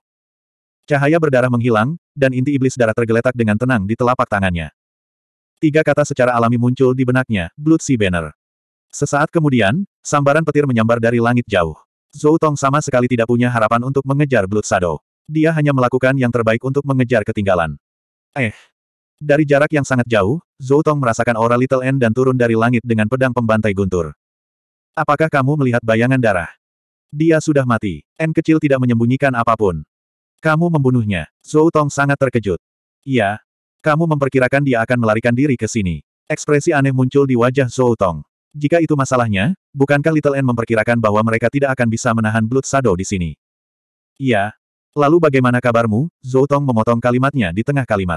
Sekelompok besar orang telah mengelilinginya, dan bahkan membiarkan Blood Shadow melarikan diri. Bagaimana mungkin dia masih berani mempertanyakan gadis kecil ini? Zhou Senior, rahasia surga tidak boleh diungkapkan. Li Qingshan tertawa keras saat dia berjalan dari jauh. Dia mengusap kepala Little N. Bagus sekali. Pada saat ini, beberapa seberkas cahaya menembus udara. Kelompok Liu Changqing juga berhasil menyusul. Setelah mengetahui hasil dari masalah ini, mereka tidak bisa tidak saling memandang. Selain kegembiraan, ada juga keterkejutan di wajah mereka. Dia telah mencapai yayasan pendirian pada usia 13 atau 14 tahun. Dia telah mengerahkan pasukannya, menyembunyikan niat membunuhnya, dan membunuh Blood Demon dengan satu gerakan. Mereka, sekelompok penggarap yayasan pendirian tahap menengah dan akhir, telah menjadi bawahannya. Namun, mereka tidak dapat mengeluarkan satu kata pun keluhan. Sebaliknya, mereka harus berterima kasih padanya. Sekte mana yang tidak memiliki murid yang mati di tangan iblis darah ini? Ini tidak bisa lagi digambarkan sebagai jenius. Melihat Little N, yang meringkuk di depan Li Qingshan dan memperlihatkan senyuman langka, mereka semua merasa tidak bisa berkata-kata. Pada saat yang sama, mereka menyadari betapa mendalam dan menakutkannya seorang peramal. Yang menakutkan bukanlah si peramal itu sendiri, melainkan nasib yang dikendalikan oleh sang peramal. Tidak ada yang meragukan apakah Little N memiliki kemampuan untuk membunuh Blood Shadow. Ketika Blood Shadow melarikan diri, semua orang dapat melihat bahwa dia terluka parah. Ditambah dengan bakat mengerikan yang ditunjukkan oleh Little N, kecurigaan semua orang hilang. Bangunan itu dihiasi dengan lentera dan pita. Diisi dengan suasana perayaan yang sudah lama tidak terlihat. Itu untuk merayakan kematian iblis darah, serta untuk merayakan pencapaian kelompok Zhou Tong. Dan karakter utama dari perjamuan ini tentu saja adalah Little N. Begonia mengaktifkan mekanismenya dan membuka sekat di tengah bangunan, sehingga praktisi Ki juga bisa melihat penampakan sang pahlawan dan menambah semarak suasana. Seperti yang diharapkan Begonia, ketika Little N muncul di depan semua orang, lantai atas dan bawah langsung menjadi sunyi. Baik pria maupun wanita mengungkapkan ekspresi terkejut. Bahkan tak sedikit kultivator pria yang jatuh cinta pada pandangan pertama. Begonia dengan ringan menggelengkan kepalanya. Inilah kekuatan aspek keharuman dan keindahan surgawi. Sementara tatapan semua orang tertarik pada N kecil, Li Qingshan merasakan tatapan menghina diarahkan padanya. Memalingkan kepalanya, dia melihat bahwa itu adalah Rusin, yang berdiri tidak terlalu jauh. Karena Rusin berasal dari sekolah kedokteran, tugas utamanya bukanlah membunuh iblis, tetapi merawat petani yang terluka dan memurnikan pil obat. Karena itu, dia tidak memiliki kesempatan untuk bertemu Li Qingshan selama periode waktu ini. Aku tidak menyangka kamu menjadi orang seperti ini. Rusin mengirimkan suaranya. Tatapannya bola-balik antara Li Qingshan dan Little N. Ekspresinya penuh rasa malu, seolah dia malu mendapat teman seperti itu. Nyah, Li Qingshan tertawa dan mentransmisikan suaranya dengan keras. Rusin merasakan suara mendengung di kepalanya. Li Qingshan memiliki Tiger Demon Roar, jadi kekuatan transmisi suaranya jauh lebih kuat daripada miliknya. Dia mengerutkan kening dan mengusap dahinya. Aku hanya bercanda. Kenapa kamu serius sekali? Mungkinkah kamu marah karena aku tepat sasaran? Bukannya aku akan meremehkanmu. Paling-paling, aku akan memarahimu karena lebih buruk dari binatang. Kamu lebih buruk dari binatang buas, namun kamu masih menganggapku tinggi. Oh, aku lupa, kamu juga lebih buruk dari binatang. Kamu setengah manusia dan setengah ikan. Hei, Li Qingshan, kamu sudah keterlaluan. Namun apakah Anda akhirnya mengakui bahwa Anda lebih buruk dari binatang buas? Siapa yang mengakuinya? Aku sudah bertindak terlalu jauh. Apa yang akan Anda lakukan? Berhati-hatilah agar aku tidak mengungkap keterlibatanmu dalam kematian tetua naga melonjak. Kamu akan dibacok sampai mati oleh istana koleksi pedang saat kamu melangkah keluar. Kalau begitu aku akan membunuh seseorang. Oh, aku akan membunuh seekor ikan untuk membungkam mereka. Putri Duyung, bukan ikan. Bagaimana kalau aku memberimu hadiah yang bagus saat kamu kembali ke pegunungan Chain? Jangan mengubah topik. Hadiah hebat apa? Saat keduanya bertengkar diam-diam, pesta perayaan resmi dimulai. An tanpa ekspresi. Dia tidak minum atau makan. Dia tidak menanggapi pujian atau tatapan kagum apa pun. Di sisi lain, Li Qingshan duduk di sampingnya. Dia menenggak anggurnya segera setelah dituangkan, mengobrol dan tertawa dengan santai. Semuanya, harap diam. Sekarang, saya mewakili seratus aliran pemikiran dalam menghadiahkan artefak misterius ini kepada Little N. Ini disumbangkan oleh rekan Ma. Itu adalah harta karun tertinggi yang diwariskan dari generasi ke generasi di aliran Yin Yang, kata Liu Changqing. Kata Liu Zhangqing. Dia mengeluarkan sebidang tanah transparan berwarna hijau zamrud yang sepertinya terbuat dari bambu dan batu giok, panjangnya tidak lebih dari satu kaki, dan memberikannya kepada Xiao An. Jadi ini artefak misterius. Kelihatannya tidak istimewa. Bukankah ini Ma, pemimpin sekolah dari kelompok giok bambu yang tidak pernah meninggalkan sisinya? Dia sebenarnya bersedia mengeluarkannya. Saat mereka berdiskusi, Mabuyi juga berdiri. N kecil, dikatakan bahwa rak buku awan giok bambu dibuat bersamaan dengan rak buku awan dari tujuh lot. Keduanya saling melengkapi. Awalnya ada tujuh lot dan banyak kontainer. Meskipun sekarang hanya satu yang tersisa di tanganku, itu masih merupakan artefak misterius. Saya harap Anda dapat menggunakannya dengan baik. Saya yakin itu pasti akan bersinar cemerlang di tangan Anda. Lalu dia melirik ke arah rak buku awan giok bambu. Matanya dipenuhi kengganan. Rak buku awan batu giok bambu bukan sekadar artefak misterius. Itu juga merupakan artefak misterius yang sangat langka untuk ramalan. Tidak peduli seberapa besar Mabui mengagumi N kecil, dia tidak akan pernah memberikannya secara cuma-cuma. Liu Changqing dan yang lainnya lah yang membujuknya. Pada akhirnya, mereka pada dasarnya menggunakan sumber daya dari seratus aliran pemikiran untuk membeli rak buku awan sebidang batu giok bambu dan menghadiahkannya kepada N kecil. Tentu saja, tujuannya adalah agar Little N memainkan peran yang lebih besar dalam perang. Jika bukan karena tekanan perang, Mabui tidak akan pernah menjualnya. Perasaan ilahi di lahan bambu jade di rak buku awan telah terhanyut secara pribadi oleh Mabui. Itu telah menjadi barang tanpa pemilik. Begitu Little N mengambilnya, dia merasa itu berkaitan erat dengan ki spiritual di tubuhnya. Tolong simpan itu. Pangkat pangkat pangkat pangkat. 477. Seni ramalan tidak maha kuasa, juga tidak maha tahu dan maha tahu seperti yang dibayangkan orang luar. Alasan mengapa Anda dapat secara akurat menghitung keberadaan Blood Shadow dan bahkan nasibnya sebagian besar disebabkan oleh informasi yang dikumpulkan oleh penjaga Hawk Wolf. Blood Shadow telah membantai terlalu banyak orang, meninggalkan terlalu banyak karma. Dia seperti ikan kecil yang berenang di sungai, meninggalkan riak-riak jernih di air. Dia tidak menggunakan logika untuk menganalisis informasi. Sebaliknya, dia memahami benang takdir yang tidak bisa dilihat oleh para kultivator biasa, itulah sebabnya dia bisa dengan akurat menentukan keberadaan Blood Shadow. Jika dia harus menghitung nasib siput naga, dia akan menjadi tidak berdaya. Bahkan jika dia mencobanya, dia tidak akan seakurat itu. Dari sudut pandang tertentu, justru karena Blood Shadow ditakdirkan untuk mati di tangannya sehingga dia bisa menghitung sampai titik ini dengan karma yang begitu dalam. Di sisi lain, jika dia tidak bisa menghitung sampai titik ini, mustahil baginya untuk membunuh Blood Shadow. Karma saling terkait satu sama lain. Bahkan tak terpisahkan, itulah sebabnya nasib misterius dan tak terduga ini terbentuk. Itu jauh lebih mendalam daripada teknik apa pun di dunia. Saat ini An hanya tahu sedikit tentang hal itu. Dia sama sekali tidak bisa memahaminya. Namun, rak buku awan batu giok bambu akan sangat membantu ramalannya. Paling tidak, dia bisa menjelajah lebih jauh ke dalam sungai takdir. Saya berterima kasih kepada para pemimpin sekolah atas kebaikan mereka di tempat Little N. Li Qingshan mengangkat cangkirnya tinggi-tinggi ke udara dan menenggaknya. Selain rak buku awan giok bambu Little N, Li Qingshan juga menerima beberapa hadiah. Tak perlu dikatakan lagi, kontribusinya pada penjaga Hawkwolf sekali lagi meningkat secara drastis. Dia tersenyum gemilang saat dia menenggak botol demi botol alkohol seperti sedang minum air, yang menyebabkan serangkaian sorak-sorai. An memandang Li Qingshan, dan sudut bibirnya membentuk senyuman tanpa suara. Meskipun dia tampak agak tidak masuk akal, dalam hal kecerdasan, dia tidak akan kalah dari siapa pun. Namun, dia tidak akan kalah dari siapa pun. Dia hanya tidak peduli dengan apa yang dipikirkan dan dirasakan orang lain. Namun, dia memiliki pemahaman yang sangat rincin tentang dia. Dia mengerti di mana letak rasa frustrasinya. Rusin menatap dari jauh. Dia juga merasa bahwa dia agak berbeda hari ini, seolah-olah dia telah kembali seperti semula ketika dia pertama kali bertemu dengannya beberapa tahun yang lalu. Hari ini, Li Qingshan sangat bahagia di hatinya, bukan karena dia telah memperoleh banyak manfaat. Dulu, dia pernah menyaksikan tragedi perang dan merasa bertanggung jawab karenanya. Tanggung jawab ini mungkin tidak terlalu besar. Seperti yang dikatakan Fu Qingjin, perang tidak dapat dihindari, dan mereka hanyalah pion. Namun, dia tidak akan menggunakan alasan seperti itu untuk menghindari tanggung jawab. Sebagai seorang pria, meskipun dia melakukan kesalahan, dia harus memikul tanggung jawab. Jika dia secara membabi buta menutupinya, dia bahkan harus menutupi dirinya sendiri. Sebaliknya, hati mereka terpelintir dan mereka menjadi orang-orang munafik. Ini benar dan salah. Tidak peduli bagaimana orang lain menilainya. Setiap orang memiliki skala di hati mereka. Dia tidak pernah mencari kesempurnaan atau kebajikan yang tak tertandingi. Dia hanya berusaha memiliki hati nurani yang bersih. Saat itu, setelah ia memperoleh kekuasaan, ia tidak mengambil kesempatan untuk membalas dendam kepada saudara laki-laki dan perempuan iparnya yang telah menganiayanya selama bertahun-tahun, dan ia juga tidak melampiaskan kemarahan di dalam hatinya. Sebaliknya, dia melemparkan sekantong perak kepada mereka, semua demi empat kata ini. Dengan membunuh, iblis batu, dan iblis darah, dia yakin pada dasarnya dia telah memutuskan karmanya dan memenuhi tanggung jawabnya. Beban berat seperti terangkat dari pundaknya. Dia merasa sangat santai dan gembira. Tentu saja, tidak ada seorang pun yang berhak mengomentari hasil ini, dengan mengatakan, kamu, Li Qingshan, telah menghabiskan semua upaya ini dengan sia-sia, atau kamu sangat bersalah sehingga membunuh dua Dasmon tidak cukup untuk menebus dirimu sendiri. Jika dia merasa itu sudah cukup, maka itu sudah cukup. Dia pernah memutuskan untuk menyelesaikan kedua sisi perang dan mengakhiri perang. Namun, setelah periode pemahaman ini, dia merasa hal ini bukan lagi tanggung jawabnya.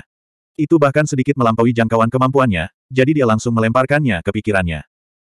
Meskipun dia tidak sepenuhnya setuju dengan teori catur Fu Qingjin, dia menganggapnya masuk akal. Dan, perang saat ini hanya terjadi di dalam batas prefektur Clear River, jadi dia masih bisa berguna. Setelah menyebar, bagaimana dia bisa menghentikannya dengan kultivasinya saat ini? Biarkan dia. Jika dia ingin bertarung, maka bertarunglah sepuasnya. Dia sudah muak dengan kesulitan menyeimbangkan kedua belah pihak. Lebih baik dia menggunakan kesempatan ini untuk mendapatkan manfaat sebanyak-banyaknya dan meningkatkan budidayanya secepat mungkin. Hanya dengan begitu dia dapat melindungi orang-orang penting baginya dan menjangkau melampaui sembilan surga lebih cepat. Sebagai seorang transmigran, dia tidak memiliki pola pikir, menepati janji. Situasi terus berubah. Dia tidak akan pernah menggunakan satu janji pun untuk menahan diri, bahkan jika itu datang dari mulutnya sendiri. Dia jelas telah mengambil langkah maju dan memperoleh pemahaman yang lebih dalam, namun dia masih harus bertindak sesuai dengan kesimpulan yang dia dapatkan dari pemikiran lamanya. Bukankah itu hanya akan mempersulit dirinya sendiri? Mereka mundur. Mereka mundur. Seorang kultivator muda bergegas masuk ke dalam gedung dengan penuh semangat dan berseru dengan keras. Apa yang sedang terjadi? Bicara pelan-pelan. Liu Changqing berkata dengan tegas. Semua daemon telah mundur ke bawah tanah. Ini semua berkat kepemimpinan bijaksana Tuan sehingga Anda telah membunuh iblis darah dan memberikan pukulan telak pada kekuatan Dasmon. Saat kultivator muda itu berbicara, dia tidak lupa menyanjung Liu Changqing. Berita kematian iblis darah segera sampai ke telinga siput naga. Dia segera mengambil keputusan dan menarik semua pasukannya ke bawah tanah. Dari empat jenderal Daemon besar di bawah komando Ratu Laba-Laba, Bulan Utara berada dalam budidaya terpencil, jadi hanya dia yang tersisa. Dia berjuang untuk bertahan sendirian, jadi tidak ada gunanya melanjutkan. Itu hanya akan menimbulkan kerugian yang lebih besar. Daemon memiliki umur yang panjang, tetapi mereka berkembang biak dengan lambat. Kehilangan semuanya mungkin memerlukan waktu satu abad untuk menebusnya. Namun, perang dan kekacauan dalam beberapa tahun terakhir telah mengurangi populasi prefektur Clear River hingga lebih dari setengahnya. Itu setara dengan menghancurkan sebagian besar fondasi budidaya di prefektur Clear River. Butuh satu abad untuk pulih. Gedung itu dipenuhi dengan sorak-sorai. Semua kultivasi dan ketabahan mental mereka yang biasa telah dibuang ke satu sisi. Entah berapa banyak senior dan junior yang hilang selama beberapa tahun perang. Entah berapa banyak situasi yang mengancam jiwa yang mereka alami. Mereka akhirnya melihat fajar kemenangan. Siapa yang bisa mengendalikan emosi mereka? Jangan merayakannya terlalu dini, semuanya. Kita masih harus terus bekerja dengan baik. Hanya dengan begitu kita bisa sepenuhnya menghancurkan ambisi para Dasmon. Liu Changqing berdehem beberapa kali sebelum menahan kegembiraannya. Cheng Kaisan berkata, rekan Fu, iblis batu dan iblis darah keduanya sudah mati sekarang. Yang perlu kamu lakukan sekarang hanyalah membunuh iblis bulan, dan kemenangan pasti akan menjadi milik kita. Qingjin akan melakukan yang terbaik, kata Fu Qingjin acuh tak acuh. Bunuh aku. Kalau begitu mari kita mencobanya. Li Qingshan tersenyum mabuk sambil berpikir dalam hati. Perjamuan perayaan menjadi pesta perayaan yang lebih megah yang berlangsung hingga larut malam. Baru saja, semua orang bubar. Li Qingshan dan Little N kembali ke tempat tinggal mereka di pegunungan Chain. Rusin juga ikut bersama mereka. Perang telah berakhir, jadi dia tidak perlu lagi mengolah pil siang dan malam untuk menyelamatkan orang. Dia bisa istirahat dan kembali beristirahat sebentar. Dia masih memikirkan tentang hadiah luar biasa yang dijanjikan Li Qingshan padanya, jadi dia mau tidak mau bertanya sepanjang jalan. Di mana hadiah hebatku? Kita akan membicarakannya saat kita kembali. Li Qingshan tersenyum misterius. Kembali ke pegunungan Chain, dia menyuruh En kecil kembali ke kediaman King Xiao terlebih dahulu, sementara Li Qingshan dan Ru Xin tiba di kediamannya. Li Qingshan langsung melanjutkan pengejaran. Dia langsung mengeluarkan semua ramuan spiritual di dalam kantong seratus harta karunnya, menumpuknya di seluruh meja batu. Kebanyakan dari mereka adalah ramuan spiritual yang dipersembahkan oleh enam penjelajah malam sebagai penghormatan selama tiga tahun budidaya terpencil. Ada juga ramuan spiritual yang dia peroleh dari membunuh para penggarap dari pembunuh iblis, yang jumlahnya juga cukup banyak. Karena Rusin tidak punya cukup waktu dan tenaga, dia tidak mengeluarkannya. Dia selalu menyimpannya di dalam kantong seratus harta karunnya. Apakah ini hadiah luar biasa yang kamu bicarakan? Rusin berkata dengan heran. Terakhir kali, Li Qingshan mengeluarkan begitu banyak ramuan spiritual sekaligus, yang membuatnya terkejut. Namun, itu tidak ada apa-apanya dibandingkan kali ini. Dia telah melihat banyak tumbuhan spiritual dalam hidupnya. Dari segi kuantitas, dia telah melihat ramuan spiritual yang jauh lebih banyak daripada yang diambil Li Qingshan, tetapi nilainya jauh dari itu. Tangkai rumput roh berumur ribuan tahun setara dengan tumpukan rumput roh biasa. Namun, tidak kurang dari seratus ribu tahun tanaman spiritual di depannya. Mereka bertumpuk seperti kubis, jadi bagaimana mungkin dia tidak terkejut dan kaget. Aturan lama yang sama, kamu mengumpulkan ramuan spiritual lainnya, dan setelah dimurnikan, kamu mendapatkan 30% pilnya. Aku tidak bisa. Akhir-akhir ini aku telah memurnikan terlalu banyak pil, jadi aku merasa jijik setiap kali melihat ramuan spiritual. Memikirkan tentang memurnikan pil saja sudah membuatku pusing. Rusin mengusap keningnya dan bersikap gelisah. Dia berusaha menyembunyikan gemetar di matanya. Jika dia menukar semuanya dengan batu roh, itu mungkin akan memenuhi seluruh gua keabadiannya. Yang terpenting, Asal muasal ramuan roh ini cukup untuk mengungkap banyak hal, yang membuatnya semakin yakin dengan tebakannya. Dia tidak pernah menyangka akan mendapat kepercayaan seperti ini. Huff, kamu masih berpura-pura patuh setelah mendapat tawaran. Jika kamu tidak menginginkannya, aku akan membiarkan orang lain memperbaikinya. Li Qingshan berkata, tapi tubuhnya tidak bergerak. Mengapa kamu tidak meminta ayah mertuamu Han untuk membantumu memikirkan cara? Dengan kekuatan keluarga Han, tidak sulit untuk menemukan beberapa alkemis yang cocok, dan kamu tidak perlu memberiku 30%. Aku bisa mempercayaimu, oke. Jangan bicara omong kosong. Apakah Anda akan memperbaikinya atau tidak? Kepercayaan semacam ini tidak dibangun dalam semalam, tetapi pada saat ini, Li Qingshan merasa bahwa dia dapat mempercayakan banyak hal kepadanya, bahkan beberapa rahasia penting. Rusin merasa hangat di hatinya. Entah kenapa, diam-diam dia merasa senang. Jadi, bahkan Han Qiongzi tidak mengetahui rahasianya ini. Huff, apa yang bisa dibandingkan dengannya? Lupakan saja, karena kamu sudah memohon padaku, aku akan memperbaikinya. Namun nyatanya, Anda tidak menghitung ramuan spiritual ini sama sekali. Bahkan jika delapan atau sepuluh di antaranya hilang, Anda tidak akan tahu. Rusin menyingkirkan semua ramuan spiritual dan mengedipkan matanya sambil tersenyum. Siapa yang bilang begitu? Jika ada yang hilang, aku akan menganggapmu bertanggung jawab. Li Qingshan tertegun sejenak, tapi dia tidak ingin menunjukkan kelemahan.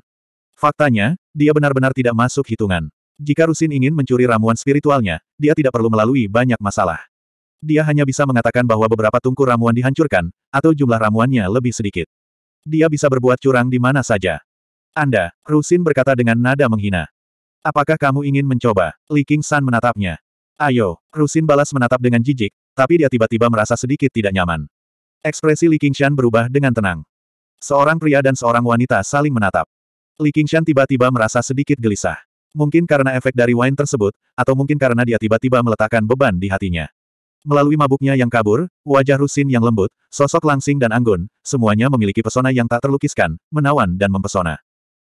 Mau tak mau dia ingin lebih dekat dengannya, mencium aroma tubuhnya, dan melihat pikiran seperti apa yang ada di balik topeng sinisnya. 478. Apakah kamu sudah cukup melihat? Rusin tidak menunjukkan kecanggungan atau kegelisahan apa pun. Dia dengan santai mengangkat tangannya dan menggunakan kelingkingnya untuk menyisir rambutnya. Dia tidak peduli. Cahaya dari langit-langit menguraikan lekuk jelas wajahnya yang putih bersih dan anggun. Dia sangat cantik. Matanya mengembara. Sulit untuk mengatakan apakah dia sedang menggoda atau menolaknya. Aku sudah lama bosan. Li Qingshan segera membalas. Kemudian dia ingat bahwa dia harus mengatakan sesuatu yang lembut dan intim seperti, aku belum cukup melihat. Ini adalah agresi yang hampir naluriah yang muncul dari bersamanya. Anda, Rusin tidak bisa menahan tawa. Dia menggelengkan kepalanya dengan lembut, tidak tahu apakah dia kecewa atau merasa nyaman. Meskipun kamu cantik, kamu jauh dari mampu merayuku. Li Qingshan juga tersenyum dan kembali tenang. Dia tidak ingin melihat hubungan mereka hancur karena gairah sesaat. Aku akan mengembalikan kata-katamu padamu. Jika kamu bosan, keluarlah dari sini. Jangan tunda alkimia saya. Rusin berdiri untuk mengirimnya pergi. Aku belum menghabiskan tehku. Aku sudah selesai. Rusin mengambil teh dan memercikannya. Dia mendorong Li Qingshan keluar dari pintu. Begitu Li Qingshan keluar dan ingin mengatakan sesuatu, pintu gua melewati ujung hidungnya dan terbanting hingga tertutup. Melihat ke pintu batu, dia merasa sedikit tidak mau. Rusin juga menatap pintu batu itu. Cahaya di matanya tampak dingin, namun juga penuh gairah. Keduanya saling memandang melalui pintu batu yang berat. Mereka tidak bisa melihat satu sama lain, tapi mata mereka tidak menyimpang sama sekali. Li King San tiba-tiba tersenyum. Dia berbalik dan menginjak awan, menyandarkan kepalanya di lengannya. Dia hanya akan menganggapnya sebagai kebingungan yang tidak berarti selama bertahun-tahun berkultivasi. Tidak masalah jika dia tidak mau. Perjalanannya masih panjang. Rusin menghela nafas pelan dan tersenyum menghina. Pengecut. Tiba-tiba, dia menggaruk kepalanya dengan kedua tangannya. Ada begitu banyak ramuan roh. Berapa lama kamu ingin aku memurnikannya? Apa yang dia katakan tadi? Itu semua bukan lelucon. Dia memang sedikit kesal dengan alkimia akhir-akhir ini. Tapi dengan keuntungan yang begitu besar, dia harus menanggungnya tidak peduli betapa kesalnya dia. Malam itu gelap. Hujan semakin deras, namun tetap deras tanpa henti, membasahi bumi dan pegunungan. Dengan datangnya musim panas, musim hujan pun tiba. Di arah barat daya, 2000 li jauhnya, hujan juga turun. Ada gunung yang rusak, dan roh di gunung itu sangat kaya, menunjukkan bahwa ini adalah urat batu roh. Di permukaan gunung yang retak, orang masih bisa melihat cahaya redup yang dipancarkan oleh batu roh yang tersebar. Di kaki gunung, ada sebuah tambang. Ye Liusu tampak seperti bayangan. Armor hitam sederhana miliknya sangat i. Sosok ramping dengan sepatu bot berjalan di tengah hujan dengan gerakan kaki yang lebih ringan dari gerakan kaki kucing. Wajah yang halus. Dia sedikit mengernyitkan alisnya. Kulitnya yang biru tua sepertinya sedang memikirkan sesuatu. Itu tidak mempengaruhi kecantikannya sama sekali, tapi menambah pesona yang aneh padanya. Saudari, iblis-iblis itu telah mundur. Apa yang harus kita lakukan? Sial, mereka bahkan tidak memberitahu kita. Ye Liubo mengikuti dari belakang. Penampilannya hanya sedikit lebih rendah. Dia memiliki dan bokong yang besar, dan dia memiliki pesona romantis yang bahkan Ye Liusu tidak bisa menandinginya. Iya, Ye Liusu memimpin pasukan penjelajah malam untuk menyerang berbagai pembuluh darah batu roh. Meskipun pembuluh darah ini dijaga ketat dan memiliki penggarap yang kuat, mereka tidak seberapa dibandingkan dengan pasukan mereka. Meskipun mereka telah kehilangan banyak tentara, hanya satu dari penjelajah malam kuat yang telah mengalami kesengsaraan surgawi pertama yang tewas dalam pertempuran. Perlawanan yang mereka hadapi bisa dikatakan relatif lemah. Masalah terbesar sebenarnya bukan datang dari para Dasmon atau manusia, melainkan diri mereka sendiri. Meskipun Li Qingshan telah memberi Ye Liusu posisi komandan, berbagai konflik, baik terbuka maupun terselubung, segera mulai menyebar saat dia tidak ada. Penjelajah malam yang kuat yang tewas dalam pertempuran telah mati dengan cara yang sangat mencurigakan. Dari sudut pandang tertentu, konflik semacam ini bukan lagi soal keuntungan. Sebaliknya, itu adalah suatu bentuk naluri. Mereka akan saling menyakiti begitu ada kesempatan, meski tidak ada manfaatnya sama sekali. Rasanya seperti, kamu terlalu seksi di sini. Mau tak mau aku menendangmu. Sudah lama sejak aku sering menendangmu. Ini adalah bagian yang paling menyusahkan Yeliusu. Kadang-kadang, dia bahkan berpikir dengan marah, apakah penjelajah malam seperti itu benar-benar berharga bagiku. Namun, pemikiran ini hanya bertahan sesaat. Tidaklah cukup untuk mempengaruhi seorang idealis seperti dia. Setelah melalui begitu banyak kesulitan, dia juga mengembangkan sikap sebagai seorang pemimpin. Pendukungnya berangsur-angsur meningkat, yang membuat Ye Liubo sangat kagum. Setelah membentuk aliansi dengan seratus aliran pemikiran, pembunuh iblis dan ratusan aliran pemikiran memfokuskan serangan mereka pada Dasmon yang mengamuk di mana-mana. Lagi pula, meskipun pembuluh darah batu roh penting, pembuluh darah tersebut dapat diambil kembali jika hilang. Tidak mungkin bagi mereka untuk membawanya pulang. Paling-paling, mereka akan kehilangan batu spiritual. Namun, orang mati tidak dapat dihidupkan kembali. Jika prefektur Clear River benar-benar musnah, bukan hanya seratus aliran pemikiran yang tidak akan bisa merekrut murid yang cocok lagi, tapi hal yang sama juga akan terjadi pada berbagai sekte. Manusia memiliki umur yang pendek, dan para kultivator juga tidak memiliki umur yang panjang. Jika mereka gagal merekrut murid selama beberapa generasi, sekte pasti akan punah dan kehilangan garis keturunannya. Meskipun mereka tidak lagi peduli dengan kehidupan manusia setelah menjadi kultivator, semua orang memahami bahwa fondasi komunitas budidaya terletak pada manusia yang sejahtera dari generasi ke generasi. Akibatnya, mereka pada dasarnya membiarkan penjelajah malam menyerang sesuka mereka. Sebaliknya, mereka dengan senang hati menggunakan ranjau untuk menyibukkan pasukan penjelajah malam dan mengurangi tekanan di medan perang utama. Selama mereka bisa mengalahkan Daemon, apakah mereka masih perlu khawatir tidak bisa merebut kembali ranjau tersebut? Ye Liusu menatap hujan malam dan tenggelam dalam pikirannya cukup lama. Ayo mundur juga, kita tidak bisa tinggal di belakang dan menahan mereka di belakang. Tetapi kami menghancurkan ranjau-ranjau itu setelah melalui banyak kesulitan. Ayo serahkan semuanya. Ye Liusu mengambil keputusan. Pertempuran ini aman, tapi panennya juga tidak melimpah. Meskipun mereka telah memperoleh biji batu spiritual dalam jumlah besar, urat batu spiritual di bawah tanah selalu jauh lebih banyak daripada yang ada di permukaan. Bukankah lebih aman menambang di bawah tanah? Namun, penggunaan batu spiritual oleh penjelajah malam tidak sebanyak yang digunakan oleh manusia. Itu karena batu spiritual tidak bisa langsung digunakan begitu ditambang. Batu-batu tersebut perlu dimurnikan dan dimurnikan sebelum dapat diubah menjadi batu spiritual biasa yang dapat membantu dalam pertempuran dan budidaya. Jika tidak, ki spiritual akan menjadi sangat tidak murni, sehingga akan sangat sulit untuk digunakan. Para penjelajah malam jelas tidak memiliki teknologi untuk memurnikan batu spiritual, jadi mereka tidak terlalu tertarik pada penambangan. Mendapatkan begitu banyak biji tidak ada gunanya. Tentu saja, ada urat batu spiritual dengan kemurnian sangat tinggi, tapi semuanya ditempati oleh berbagai jenderal Daemon. Jangankan langsung menambang di wilayah mereka, bahkan jika mereka menggali pembuluh darah ini dari bawah, hanya masalah waktu sebelum perang pecah. Ye Liubo tersenyum. Cukup adil. Menurutku batu-batu jelek ini tidak banyak gunanya. Aku akan pergi mengumpulkan orang-orang sekarang. Kebetulan aku juga rindu Tuan. Hujannya sangat indah. Akan ada suatu hari di mana kita semua bisa berjemur di bawah hujan sesuka kita. Ye Liusu berpikir dalam hati. Beberapa kultivator menyaksikan dari jarak yang sangat jauh dengan teknik. Mereka menyaksikan pasukan penjelajah malam meninggalkan pembuluh darahnya dan pergi berkelok-kelok. Mereka segera kembali ke urat batu spiritual dan melemparkan formasi lagi, mulai menambang lagi. Tuan Prefek, para penjelajah malam juga telah mundur. Semua urat batu spiritual telah kembali ditambang, tapi membangunnya kembali akan agak merepotkan. Di kota Clear River, Liu Changqing mendengarkan laporan bawahannya sambil mengelus jenggot panjangnya sambil berpikir. Setelah perang berakhir, hal pertama yang dia pelajari adalah situasi dengan urat batu spiritual.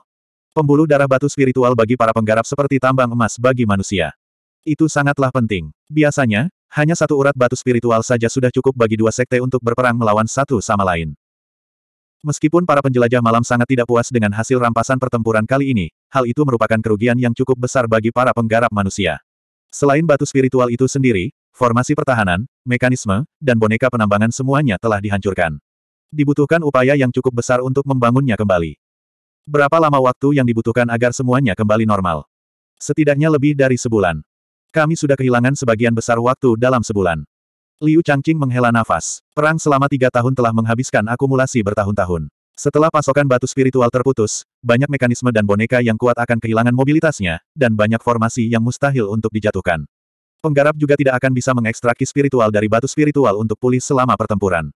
Konsekuensinya tidak terbayangkan. Undanglah pemimpin sekolah Miss Celani, Gou Dai.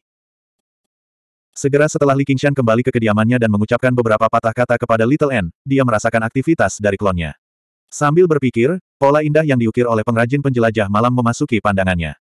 Beberapa bunga kupu-kupu biru menari-nari, menerangi area kecil. Di sampingnya, Milipet sudah terbangun dari tidurnya. Siapa yang tahu ke mana dia pergi? Gua aslinya juga telah ditutup oleh pintu batu berukir indah. Di balik pintu batu, banyak aura tersembunyi mendekat tanpa suara. Tuan Bulan Utara, menguasai. Pintu batu terbuka, dan sekelompok penjelajah malam kembali dari permukaan. Mereka segera melapor kepadanya, melewati lautan bunga kupu-kupu biru seperti bayangan dan tiba di depan alas batu sambil membungkuk bersama. Ye Liubo tidak bisa menahan diri. Dia ingin segera melemparkan dirinya ke dalam pelukannya, tetapi ketika dia melihat sekeliling, dia menahan keinginannya dan berdiri di belakang Ye Liusu dengan patuh.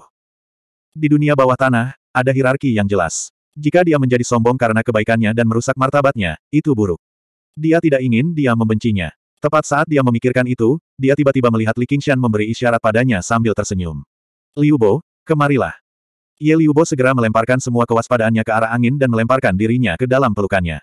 Para ibu pemimpin melihat ini dan mau tidak mau sedikit menyalahkan putri mereka. Mereka juga sudah lama mengabdi di bulan utara ini, jadi mengapa mereka tidak menerima bantuan yang sama? Oh, kamu sudah kembali. Bagaimana pertarungannya? Li Qingshan bertanya meski sudah mengetahui jawabannya. Para penjelajah malam tidak mengambil terlalu banyak bagian dalam pertempuran, jadi dia tidak terlalu mengkhawatirkan keselamatan Ye Liubo. Namun, dia masih merasa sangat senang melihatnya muncul di hadapannya dengan selamat. Mengenai martabat atau apa pun, dia tidak mempedulikannya sama sekali. Yang kuat secara alami memiliki martabat, sedangkan yang lemah bisa bertindak. Itu tidak ada gunanya. Sebelum Ye Liusu bisa menjawab, dia menundukkan kepalanya dan dengan lembut mengusap punggung Ye Liubo. Dia bertanya dengan prihatin, kamu tidak terluka, kan? Silakan periksa sendiri nanti, Tuan. Ye Liubo melingkarkan lengannya di pinggangnya dengan kuat. Saat dia mendengarkan suara logam dan kata-katanya yang lembut, bahkan hatinya terasa meleleh. Dia mengangguk dengan tegas. Ketika ujung jarinya yang agak tajam menyentuh kulitnya, dia tidak bisa menahan diri untuk tidak mengerang kenikmatan. 479. Harap ingat nama domain situs web ini. Atau di. Kami telah mengambil alih banyak tambang batu spiritual dan membunuh beberapa praktisi Ki, tetapi kebanyakan dari mereka adalah biji yang belum dimurnikan. Untungnya, tidak terlalu banyak korban jiwa, lapor Yeliusu. Biji. Berapa banyak? Jantung Li San berdetak kencang. Tidak ada kultivator yang akan mengeluh karena memiliki terlalu banyak batu spiritual.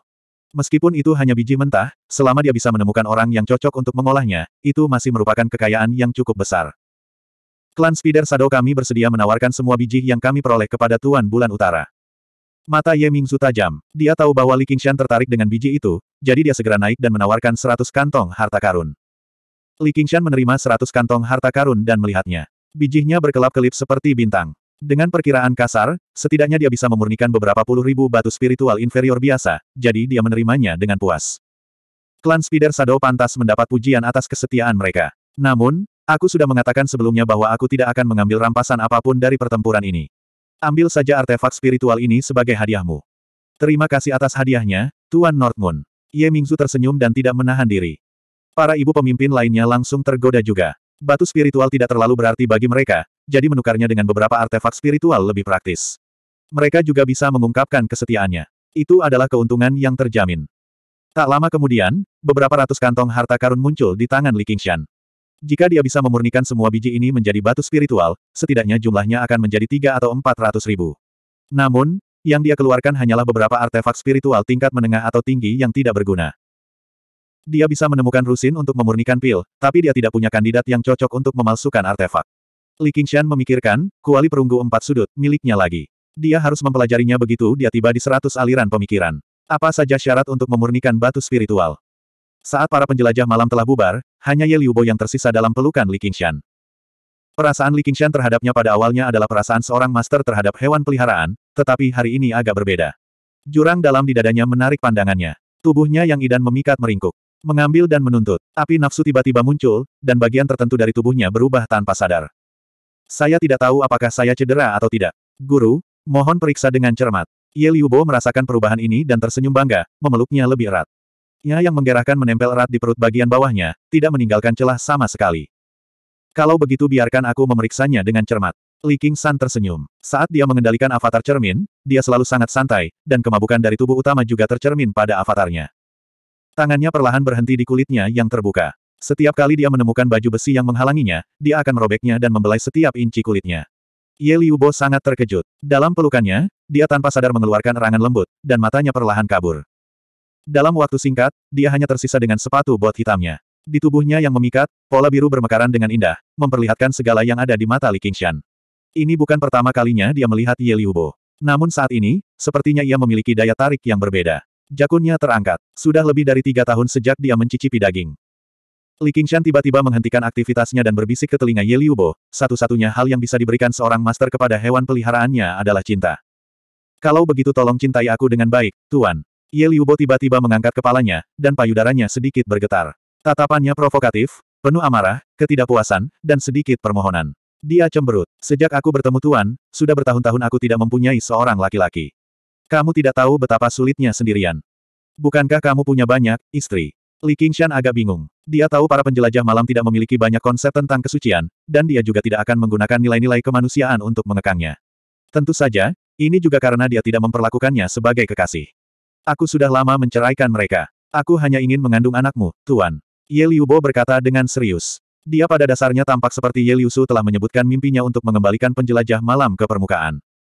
Penjelajah malam adalah klan matriarkal. Seorang wanita penjelajah malam sering kali memiliki banyak istri. Mereka hanya mengenal ibu mereka, bukan ayah mereka. Melahirkan anak dan menjadi seorang ibu adalah hal yang relatif sakral, itulah sebabnya orang dengan otoritas terbesar dalam klan dikenal sebagai ibu pemimpin. Iya, itu bukan lagi sekadar untuk kesenangan malam. Sebaliknya, dia ingin menggunakan tubuh ini untuk melanjutkan garis keturunan mereka. Sangat menahan diri, Li Qingshan tidak tahu bagaimana harus bereaksi. Apa yang bisa kita hasilkan? Sepertiga manusia, sepertiga daemon, dan sepertiga penjelajah malam. Semua yang kumiliki adalah milik Tuan hatiku, tubuhku, dan di masa depan, anak-anakku. Ye Liubo meraih tangan Li Qingshan dan meletakkannya di dadanya yang gagah, merasakan jantungnya yang berdebar kencang sebelum meletakkannya di perutnya yang rata. Li Qingshan juga sangat tersentuh. Baiklah, diakuinya bukan hanya hatinya saja yang tergerak. Apalagi yang bisa dikatakan sekarang setelah hal itu terjadi. Maafkan aku, Kiongzi. Hari ini, saya akan menerobos belenggu dan hambatan dunia fana. Saya akan memiliki hubungan yang melebihi persahabatan dengan hewan peliharaan saya. Li Qingshan mengambil keputusan dia baru saja akan melakukan sesuatu yang lebih buruk dari binatang buas. Pintu batu terbuka dengan keras, dan Ye Liu Su masuk. Seolah-olah dia tidak melihat apa-apa, dia berkata, Nyonya Ratu Laba-Laba telah memerintahkan Anda untuk segera pergi ke kota Cobweb, Tuan. Li Qingshan berkulit tebal, tetapi bahkan dia tidak dapat mempertahankan posisi seperti itu dengan wanita telanjang di bawah tatapan wanita lain. Ratu Laba-Laba juga bukanlah seseorang yang bisa dia anggap remeh. Dia dengan lembut menempatkan Ye Liu Bo ke samping dan berjalan keluar dari platform batu. Dia merapikan pakaiannya yang berantakan dan menghilangkan nafsunya. Menguasai, kata Ye Liubo dengan kepahitan yang tersembunyi. Dia tidak bisa tidak melirik Ye Liusu. Dia telah bertahan selama bertahun-tahun untuk menangkap peluang ini. Dia akan berhasil, tapi semuanya sia-sia. Bagaimana dia bisa menerima ini? Saya setuju dengan ini. Li Qingshan menoleh ke belakang sambil tersenyum. Dia mengedipkan matanya dan tidak bisa menahan tawa. Dia menganggapnya sangat lucu. Saya belum mencoba melahirkan. Haruskah saya mencobanya dengan Kiongsi? Aku ingin tahu apakah dia bersedia. Namun dengan mirror clone ini, walaupun banyak sensasi serupa, apakah memiliki fungsi tersebut? Dia tidak merasa diganggu oleh Ye Liusu. Apa yang menjadi milikku akan selalu menjadi milikku. Apakah saya harus takut tidak mempunyai kesempatan lagi di masa depan? Li Qingshan mengepakkan sayapnya, meninggalkan ledakan tawa dan hembusan angin. Tirai perlahan bergoyang. Liu Su, apakah kamu mendengar itu? Apakah kamu mendengarnya? Guru telah setuju. Ye Liubo tertegun sejenak. Kemudian, dia mengungkapkan ekspresi ekstasi. Dengar apa? Setuju apa? Sebaiknya kau kenakan pakaianmu dulu. Melahirkan. Selamat, kamu tidak perlu melakukannya lagi dengan tanganmu di masa depan. Ye Liusu terkejut sebelum tersenyum. Huff, ini semua salahmu, atau aku pasti sudah berhasil. Hanya dengan itu Ye Liusu ingat bahwa dia telah tergoda sampai pada titik nafsu. Di sela-sela kakinya sudah basah. Apakah kamu ingin aku keluar dan membiarkanmu menanganinya terlebih dahulu? Ye Liusu tersenyum. Tidak perlu. Bertahanlah, bertahanlah. Tanpa kesabaran, tidak akan ada kenikmatan. Ye Liubo menarik napas dalam-dalam. Karena Tuan sudah menyetujuinya, tidak mungkin dia bisa lari dari ini. Itu seperti bagaimana orang biasa akan kelaparan beberapa kali lagi sebelum mengundang orang lain untuk makan, berencana untuk mengandalkan dinding untuk masuk dan keluar. Ye Liusu berkata, mungkin tidak akan mudah bagi Dasmon dan penjelajah malam untuk berkembang biak. Kalau begitu, ayo kita coba beberapa kali lagi hingga berhasil. Bagaimana menurutmu, Kak? Mau ikut? Ye Liubo tersenyum licik, seolah rencananya berhasil. Jelas itu yang terbaik, tapi sebenarnya tidak masalah meskipun dia tidak melakukannya. Tidak tertarik. Ye Liusu memandang Ye Liubo yang dipenuhi dengan antisipasi. Perasaannya agak campur aduk. Pengejaran Ye Liusu sudah dimulai, jadi bagaimana dengan dia? Bulan Utara, tahukah kamu? Bayangan darah sudah mati. Li Qingshan tiba di kota Cobweb. Seperti yang diharapkan, helikopter Parosa menunggunya di peron. Namun, dari tiga jenderal Daemon besar di sampingnya, hanya siput naga yang tersisa. Saya baru saja mendengar bagaimana dia meninggal. Li Qingshan sedikit terkejut dan bertanya dengan santai. Tidak ada yang menyedihkan tentang hal itu. Tidak ada yang palsu tentang hal itu. Dia disergap oleh manusia kultivator. Kulit helikopter Parosa agak jelek. Jika Dragon Snail adalah otaknya, maka Blood Shadow dan Strong Stone adalah lengan kiri dan kanannya. Kini setelah keduanya terputus, bahkan dengan sifat jahatnya, dia masih merasa sangat sedih. Korban tidak dapat dihindari dalam pertempuran. Mohon jangan terlalu mengingatnya, Nyonya Ratu Laba-Laba. Bahkan tanpa mereka, para Dasmon tidak akan kalah. Li Qingshan menepisnya, tapi hatinya sangat senang. Kau benar-benar menjalani kehidupan tanpa beban. Dan para penjelajah malam itu sama sekali tidak berbenturan dengan manusia secara terang-terangan. Kamu pasti sudah mengajari mereka hal itu. Anda menghindari pertempuran. Suara helikopter Parosa menjadi dingin. Tatapannya yang seolah mengembunkan racun menatap Li Qingshan. Saya sedang berkultivasi terpencil, mempersiapkan pertarungan saya dengan Fu Qingjin.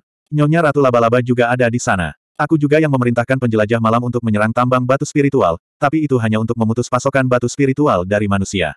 Tambang batu spiritual itu setidaknya jauh lebih penting daripada kota-kota biasa, dan pertahanannya juga jauh lebih ketat.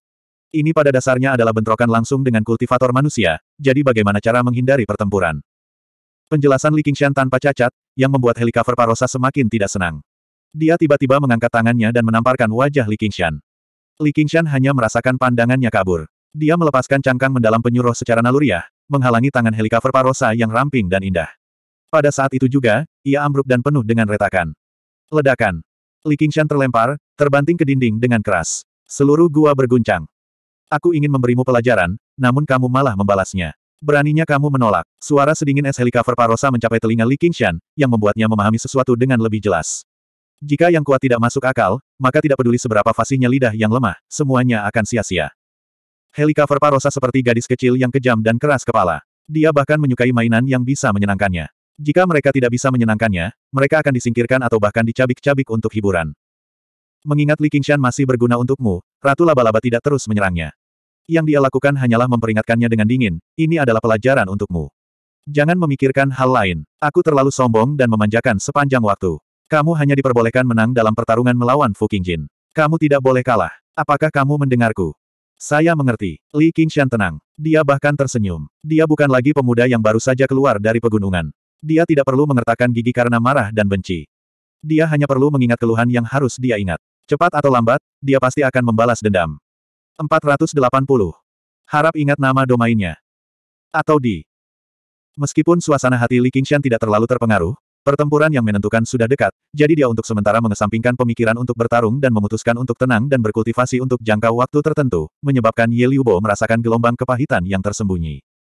Namun, Li Qingshan terus mengawasinya. Dia memerintahkan para penjelajah malam untuk mengumpulkan berbagai ramuan spiritual lebih cepat dan mempersembahkannya. Perang tersebut berlangsung selama beberapa tahun. Banyak wilayah bawah tanah telah dikosongkan. Zona terlarang yang awalnya tidak dapat dimasuki oleh penjelajah malam kini dapat diakses. Daemon bahkan lebih tidak mengerti tentang penggunaan ramuan spiritual dibandingkan penjelajah malam. Mereka hanya tahu cara menjaga dan memakan ramuan spiritual yang bisa langsung dikonsumsi, jadi seharusnya ada lebih banyak lagi ramuan spiritual yang tertinggal.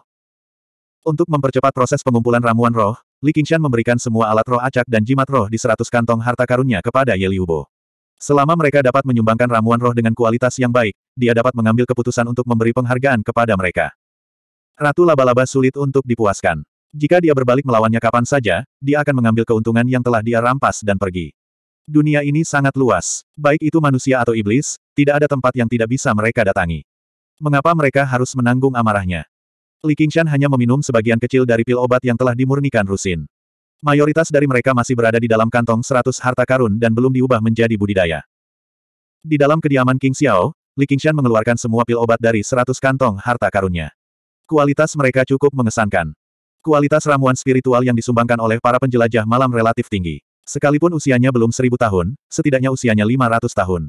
Hasilnya, sebagian besar pil yang mereka hasilkan memiliki kualitas yang sangat baik, cukup untuk dia gunakan. Namun, ada juga sebagian kecil yang nilainya kecil. Sayang sekali jika dibuang, tapi rasanya hambar. Saat ranah kultivasinya meningkat, kecepatan dia menghirup dan menghembuskan ki spiritual langit dan bumi menjadi semakin cepat. Bahkan tubuhnya secara bertahap memperoleh spiritualitas. Ki spiritual yang terkandung dalam setetes darahnya mungkin lebih banyak daripada banyak pil roh. Meminum pil roh ini secara alami tidak ada gunanya.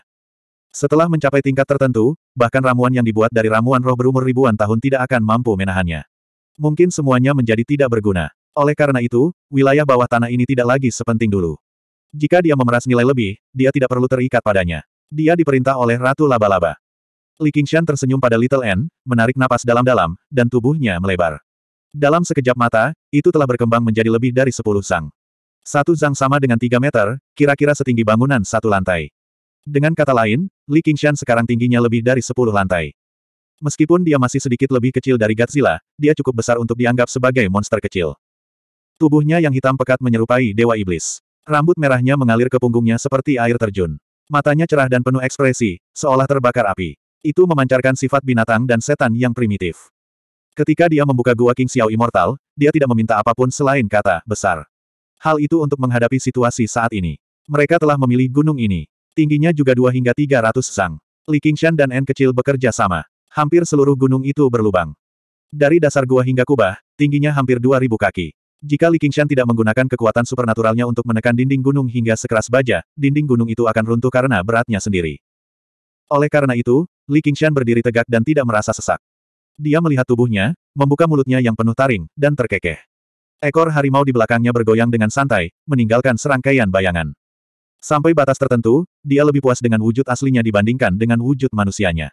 Bentuk manusianya memang tampan, tetapi dibandingkan dengan bentuk aslinya, ia tidak terlihat cukup berani dan mendominasi.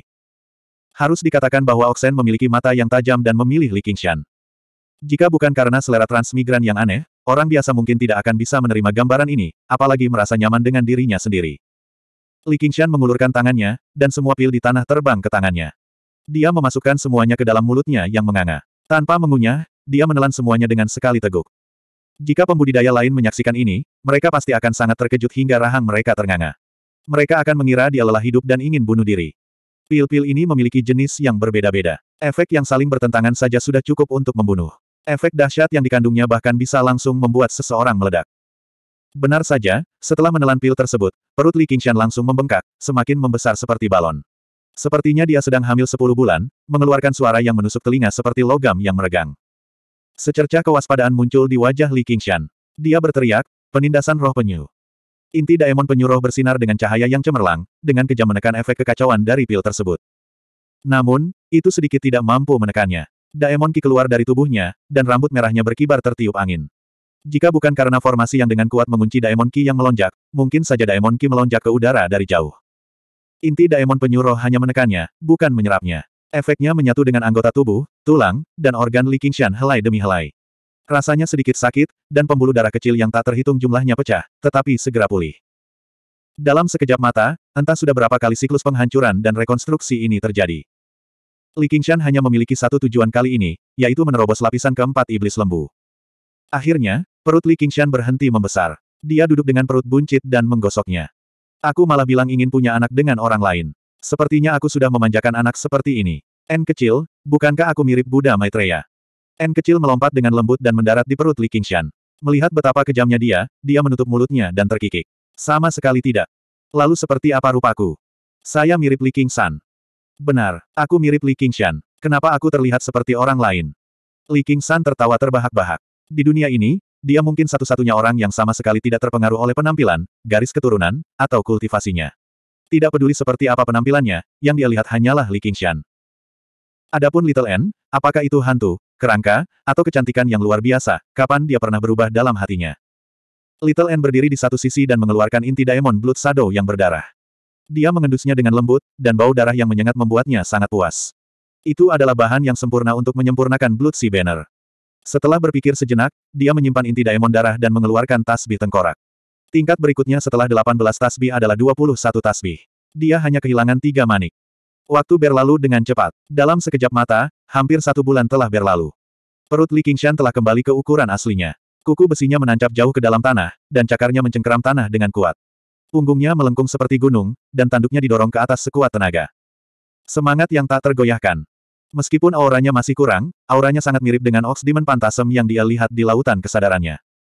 Dia tidak melakukan gerakan yang tidak perlu. Dia tidak lagi mengayunkan tangan dan kakinya.